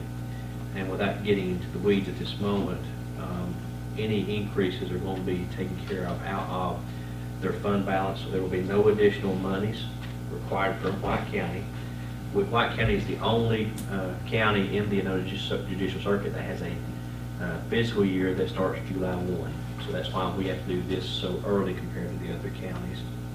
Uh, On a good note, uh, the district agreed uh, to, because of the amount of work that our office does, in particular Miss Vicki along with Miss Jody, um, has agreed to increase the percentage uh, administrative fee that uh, our our county gets. And I'm to, we go to four percent from a three percent. So we were getting around sixteen thousand dollars uh, for the judicial circuit for managing essentially 80, 90%, 80, 85% of the total budget. We're now going to be getting about $30,000. So that's been a long time coming. Next year, we'll go for 5%. Um, So I, I was thankful that the, uh, the rest of the district uh, agreed and saw the need that our staff has been, is doing an overwhelming lot of work. And uh, Ms. Vicki, Ms. Shanda, would y'all like to elaborate a little bit more on that meeting? Uh, Well, the overall increase was approximately five percent from the current year to next year's budget for the Enotah Circuit. There again, that's the district attorney's office, the superior court offices with the three judges, and juvenile. And then along with the administration fee, uh, the counties all pay their portion based on their population, pro rata share, and with using the fund balance we're going to use this year, uh, it's basically going to cover the increase in the administrative too. So It's a relatively, really small increase on the county's portion. White County, I believe, was like a a thousand dollars, fifteen thousand dollars more, but it's, Thousand or fifteen hundred dollars? I'm sorry, You said thousand or fifteen thousand? a thousand to fifteen hundred, I'm sorry. Okay. Okay. It's thousand Excuse me. fifteen thousand. And- Sorry, I gotta pick on you. That's the Enotah part for the, the judges and the DA and everything. Lumpkin County administers the public defender's office, and their budget for this new proposed year is a two percent increase, which is pretty much along the state mandated things that have increased. So, and as I say, they're gonna be using some of their fund balance also to help alleviate some of the burden on the counties. But all in all, it was a very good meeting. I was impressed. Jim, uh, keep it short, sweet, and simple, because we, we need to put this to bed prior to our upcoming budget hearing so that our staff will know what to do and how to plug these figures in. This is no additional, no additional funds for. Nope. No, taking out of fund balance. What is it? We're taking forty thousand out of fund balance. They have, the Enotah Circuit has hundred and thirty-two thousand dollars right now. So we'll be using forty thousand of it for next year's budget. Move we approve the budget. All right, second discussion. One quick question, Vicki, I must have missed it. What was the total fund balance? The total fund balance for the Enotah Circuit's hundred thirty, Okay. hundred thirty-two thousand dollars. I just didn't see that, I just didn't want to come back Right. and do, sit on all them meetings and next year, you know, I keep funding this and more, and just, you know, come back and say, well, we don't, you know, so then they go back up, so I just want to make sure. About six, seven years ago, the fund balance got real low, but it's gradually built back up, and we can use part of it now. Okay. Well, one of the things you'll, out of this meeting, and I made this comment at the meeting, is this is judicial circuit. I mean, it's nice to have a little fund balance. You, you need to have some money set aside for a rainy day, but they're not in the business to be a for-profit entity. And so it's only right that they take some of the excess funds and alleviate some of the burden off us as taxpayers. And we've got, and we'll have, what was it, eighty, ninety thousand dollars Yes, still sir. left over in fund balance for next year. And as So- they say, with the jobs that they have, it's on, the budgets are only gonna increase every year. I mean, The workload's increasing. Well, I just make the comment, because if you remember years ago, we sat through one and we used a lot, pretty much all the fund balance. Yes, And we next did. year, they didn't have any fund balance, and then we had to go back and redo, you know, add in that if we took out four, so it ended up costing us. Yes, sir. So that's why I just asked. It has gradually increased over the last six, seven years. It's really, uh, these meetings have really gotten better over the last three or four years too, but I remember, y'all remember the meeting we had at Unicoi when we, we knew less when we come out of that meeting than we did when we got there. But, uh, the last few years, these things have gotten, these are, Travis did a good job keeping everything in the chief, thank you for everything. Judge Miller's a big committee too, because he really runs tight ship, I think he does. He does. Uh, You give, you give a discussion? All right, We'll close discussion. Uh, I've Got a first and second, as Commissioner Goodger and Commissioner Bryant. All in favor of the uh, approving the Enotah Judicial Circuit preliminary uh, budget for 2018, signify by saying aye. Aye. Aye, opposed say no. All right, motion carries. Thank you. Now to item 16. Ms. Vicki, you're on the roll. Okay, tonight's presentation is for the month of February. Again, okay, February is the eighth month of our fiscal year, which is sixty-seven percent of our year behind us. The revenues for February total five hundred nine thousand ninety-one dollars. The expenditures were one million, one forty-seven, six fifty-three. It's bringing our year-to-date totals on revenues to twelve million, eight oh eight, four four three, which is equivalent to seventy-nine percent of our budget. And the expenditures total ten million, eleven thousand, four forty, which is right at sixty-one percent of our budget. Of these revenues, part of that is the alcohol-related fees and taxes. We budgeted 114,800. We've received approximately 75% of our budget for this year. That's an eight-month total. The eight-month total is 85,657. Also of the general fund revenue, part of that is the title ad valorem tax, the TAVT tax. We budgeted 750,000. Currently, for the eight months, we've received five hundred eight thousand eight hundred eighty-four dollars, and that's right at sixty-eight percent of what we budgeted.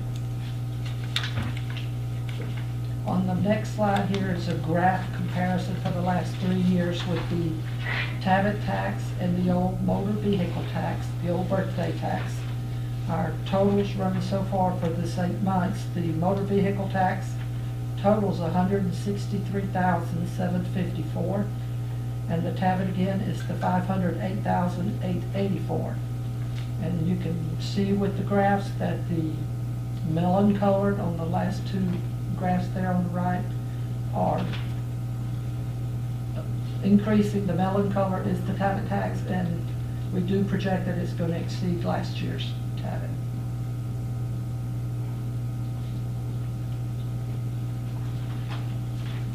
On the next slide here, we have the comparison because the TAVT tax actually does affect sales tax and loss also. It's the reason for this slide. Uh, The loss receipts we received in February were $170,721. The county portion of the SPLOST that we received, which was 74%, totaled 211,296. Again, the TAVT dollars, excuse me, the February amount received on TAVT was $61,124. These are all pertaining to the sales tax, and TAVT affected the other two, once it started. On the next slide is a recap of the last three years, three years of this half year. Our local option sales tax was budgeted for two million, one hundred ninety-eight thousand, six twenty-two.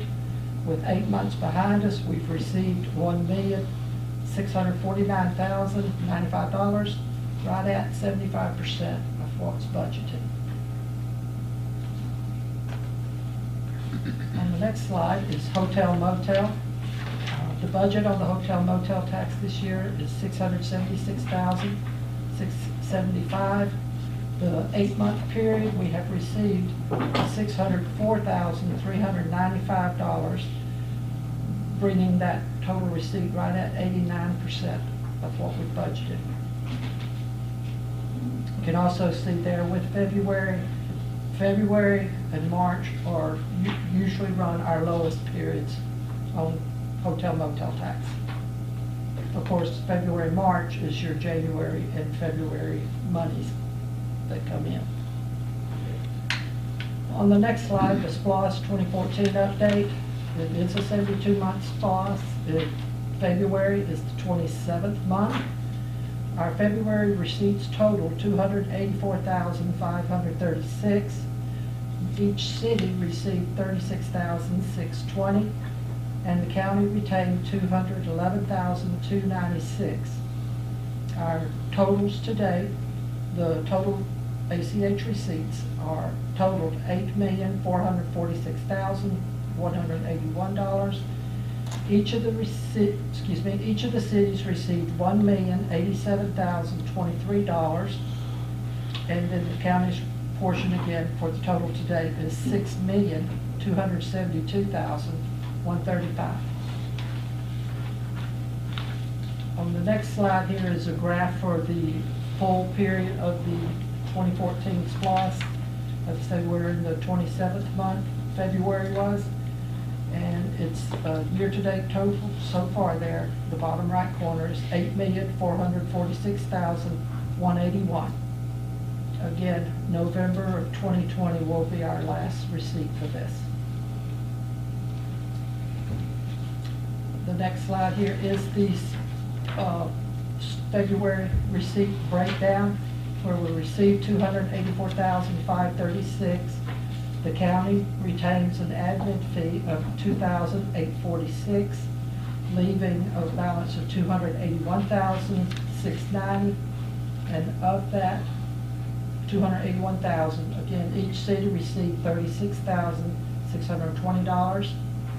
the board of, the county retains two hundred and eight thousand, four hundred and fifty dollars of that, and one hundred thousand of that is set aside to help with the, uh, payments of the SPLOST, the debts. Uh, leaving hundred and eight thousand, four hundred and fifty to be, to go into the project fund for expenses. And this last slide is on the separate funds we have, solid waste, 911, drug task force, and Enotah Circuit. Uh, It posts what, the very first column is what their full budgets are, the next are, indicates the column, the two, two funds that general fund, White County General Fund helps support, that being the 911 and the Enotah Circuit. And then we have revenues and expenditures, the next two columns, and the last column on the right is the percentage of what they have spent of their budget as of February. Solid waste has spent forty-nine percent, 911 63 percent, drug task force sixty-eight percent, and the Enotah Circuit fifty-two percent. So we're sixty-six percent through, through the budget. Any questions? Julie, any comments, questions for Ms. Vicky? I have one question. I didn't know if, it- when, I'd heard that during this session, they were going to look at changing the TAVT to, uh, for the counties to get more money. Do you do you hear anything about that? I have not heard any. Nothing's happened yet. Huh? Nothing's happened on it yet. Nothing. It did, it did get cro, it, it meant crossover day. It did, but yeah, I knew that. But it had, I think it meant crossover day, I think it did, I think so. but it hasn't been voted that I know of. I'll try to find out tomorrow. I Check didn't know, I, I, I know some counties were probably hurt worse than we were from, by this tab. Especially when they took ten percent back from everybody last year, the year before that. Those who don't know, uh, state you pay, you know, we call it your birthday tax. You go buy a new vehicle, you'll pay, it's around seven percent. I, there's, a- there's around, there's a percentage in there, but it's kind of title ad valorem tax. Instead of paying your birthday tax, when you buy a new vehicle, it goes under this new system, so, um, that's what we're referencing. Um, Mr. Melton is not here, so he's got nothing to say under county manager comments. Um, I will do this. Is there anyone uh, that have any comments or current concerns, questions? If we don't know the answer tonight, we'll try and get you an answer here in a week.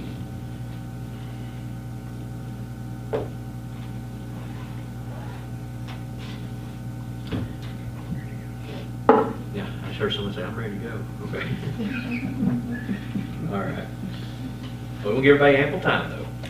All right, um, um, upcoming announcements, um, due to our lengthy meeting tonight, this is a combined work session and a regular meeting, so that's why I'm such a lengthy meeting, one reason, but, uh, there will not be any regular meeting currently scheduled for next week. A lot of folks, like I said earlier, are gonna be going on spring break. Um, We do have upcoming um, uh, 2018 budget planning retreats. Those will be scheduled, those are scheduled for Tuesday and Wednesday, April 11th and 12th, from 8:30 a.m. to 11:30 a.m. uh, here at the uh, Board of Commissioners Boardroom. Uh, We do have a work session scheduled for Monday, April the 24th at 4:30 here. Um, there is a tourism product and development resource team report uh, that'll be held at 8 a.m. on Tuesday, April the 25th. Um, I know I'll be trying to attend that. I don't know if any of the rest of you guys' schedule allow uh, in April, just FYI. And um, one thing we need to, over the next couple of weeks, we don't make a decision, but I know the ACCG annual conference is the weekend of April 28th, 29th, 30th, it goes over to May 1st. Um, Y'all look at your calendar, those who are going, and if you're going to be gone May 1st, we need to make some arrangements for another, moving a meeting or something. You'll be back. Maybe doing a college tour, so I'm not going. Um, Anyway, um, Folks, I don't want to prolong this. I'd like to go home and maybe eat supper with my family. I know you- Chairman. Yeah, oh. Don't shoot me, it's quick. uh, The, the addendum that you received today from Legacy Link, I pounded that out and it's the only difference of hundred ninety-one dollars. They're wanting this back prior to our next voting meeting. Could the board approve this addendum for Legacy Link for hundred and ninety-one dollars? Harvey says no. That's fine. But we try to use common sense. I move So we approve it. that's a hundred what? Hundred ninety-one. Hundred ninety-one dollars less that we'll be receiving. Okay. Addendum number two to the Legacy Link contract. All right, before, let me expand. Legacy Link's who we use over the senior center for our Meals on Wheels programs and lots of other things, so we don't mess with this. Because, uh, we have some retired folks who would come back here and they know where I live. So we're not gonna mess with this. Anyway, uh, motion by Commissioner Goodger to approve. Commissioner Holcomb second. Now, say that figure of one hundred ninety-one dollars. Last, we'll be receiving in funding. All right, closed discussion, all in favor say aye. Aye. Aye, opposed say no. All right, you're not surprised to see anything else, are you? No, that's all I got. All right. Only Okay. doing that for Bonnie. Just trying to get the paperwork in. Bonnie, yes. You tell Bonnie we took care of that for her, please. You tell her friends, her, her folks, don't come see us, we took care of it, please. Um, We have a very energetic crowd that attends our senior center. We have a great program if you, and if you're, if you want to see something neat that transpires right up the hill here in the mornings, is pretty awesome.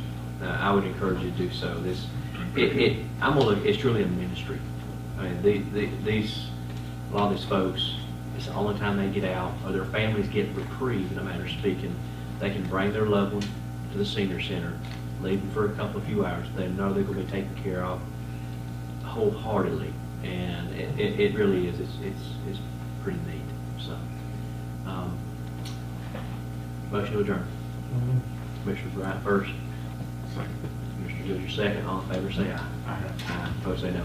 Folks, thanks again, Art, SORBA, everybody, thank y'all, seriously.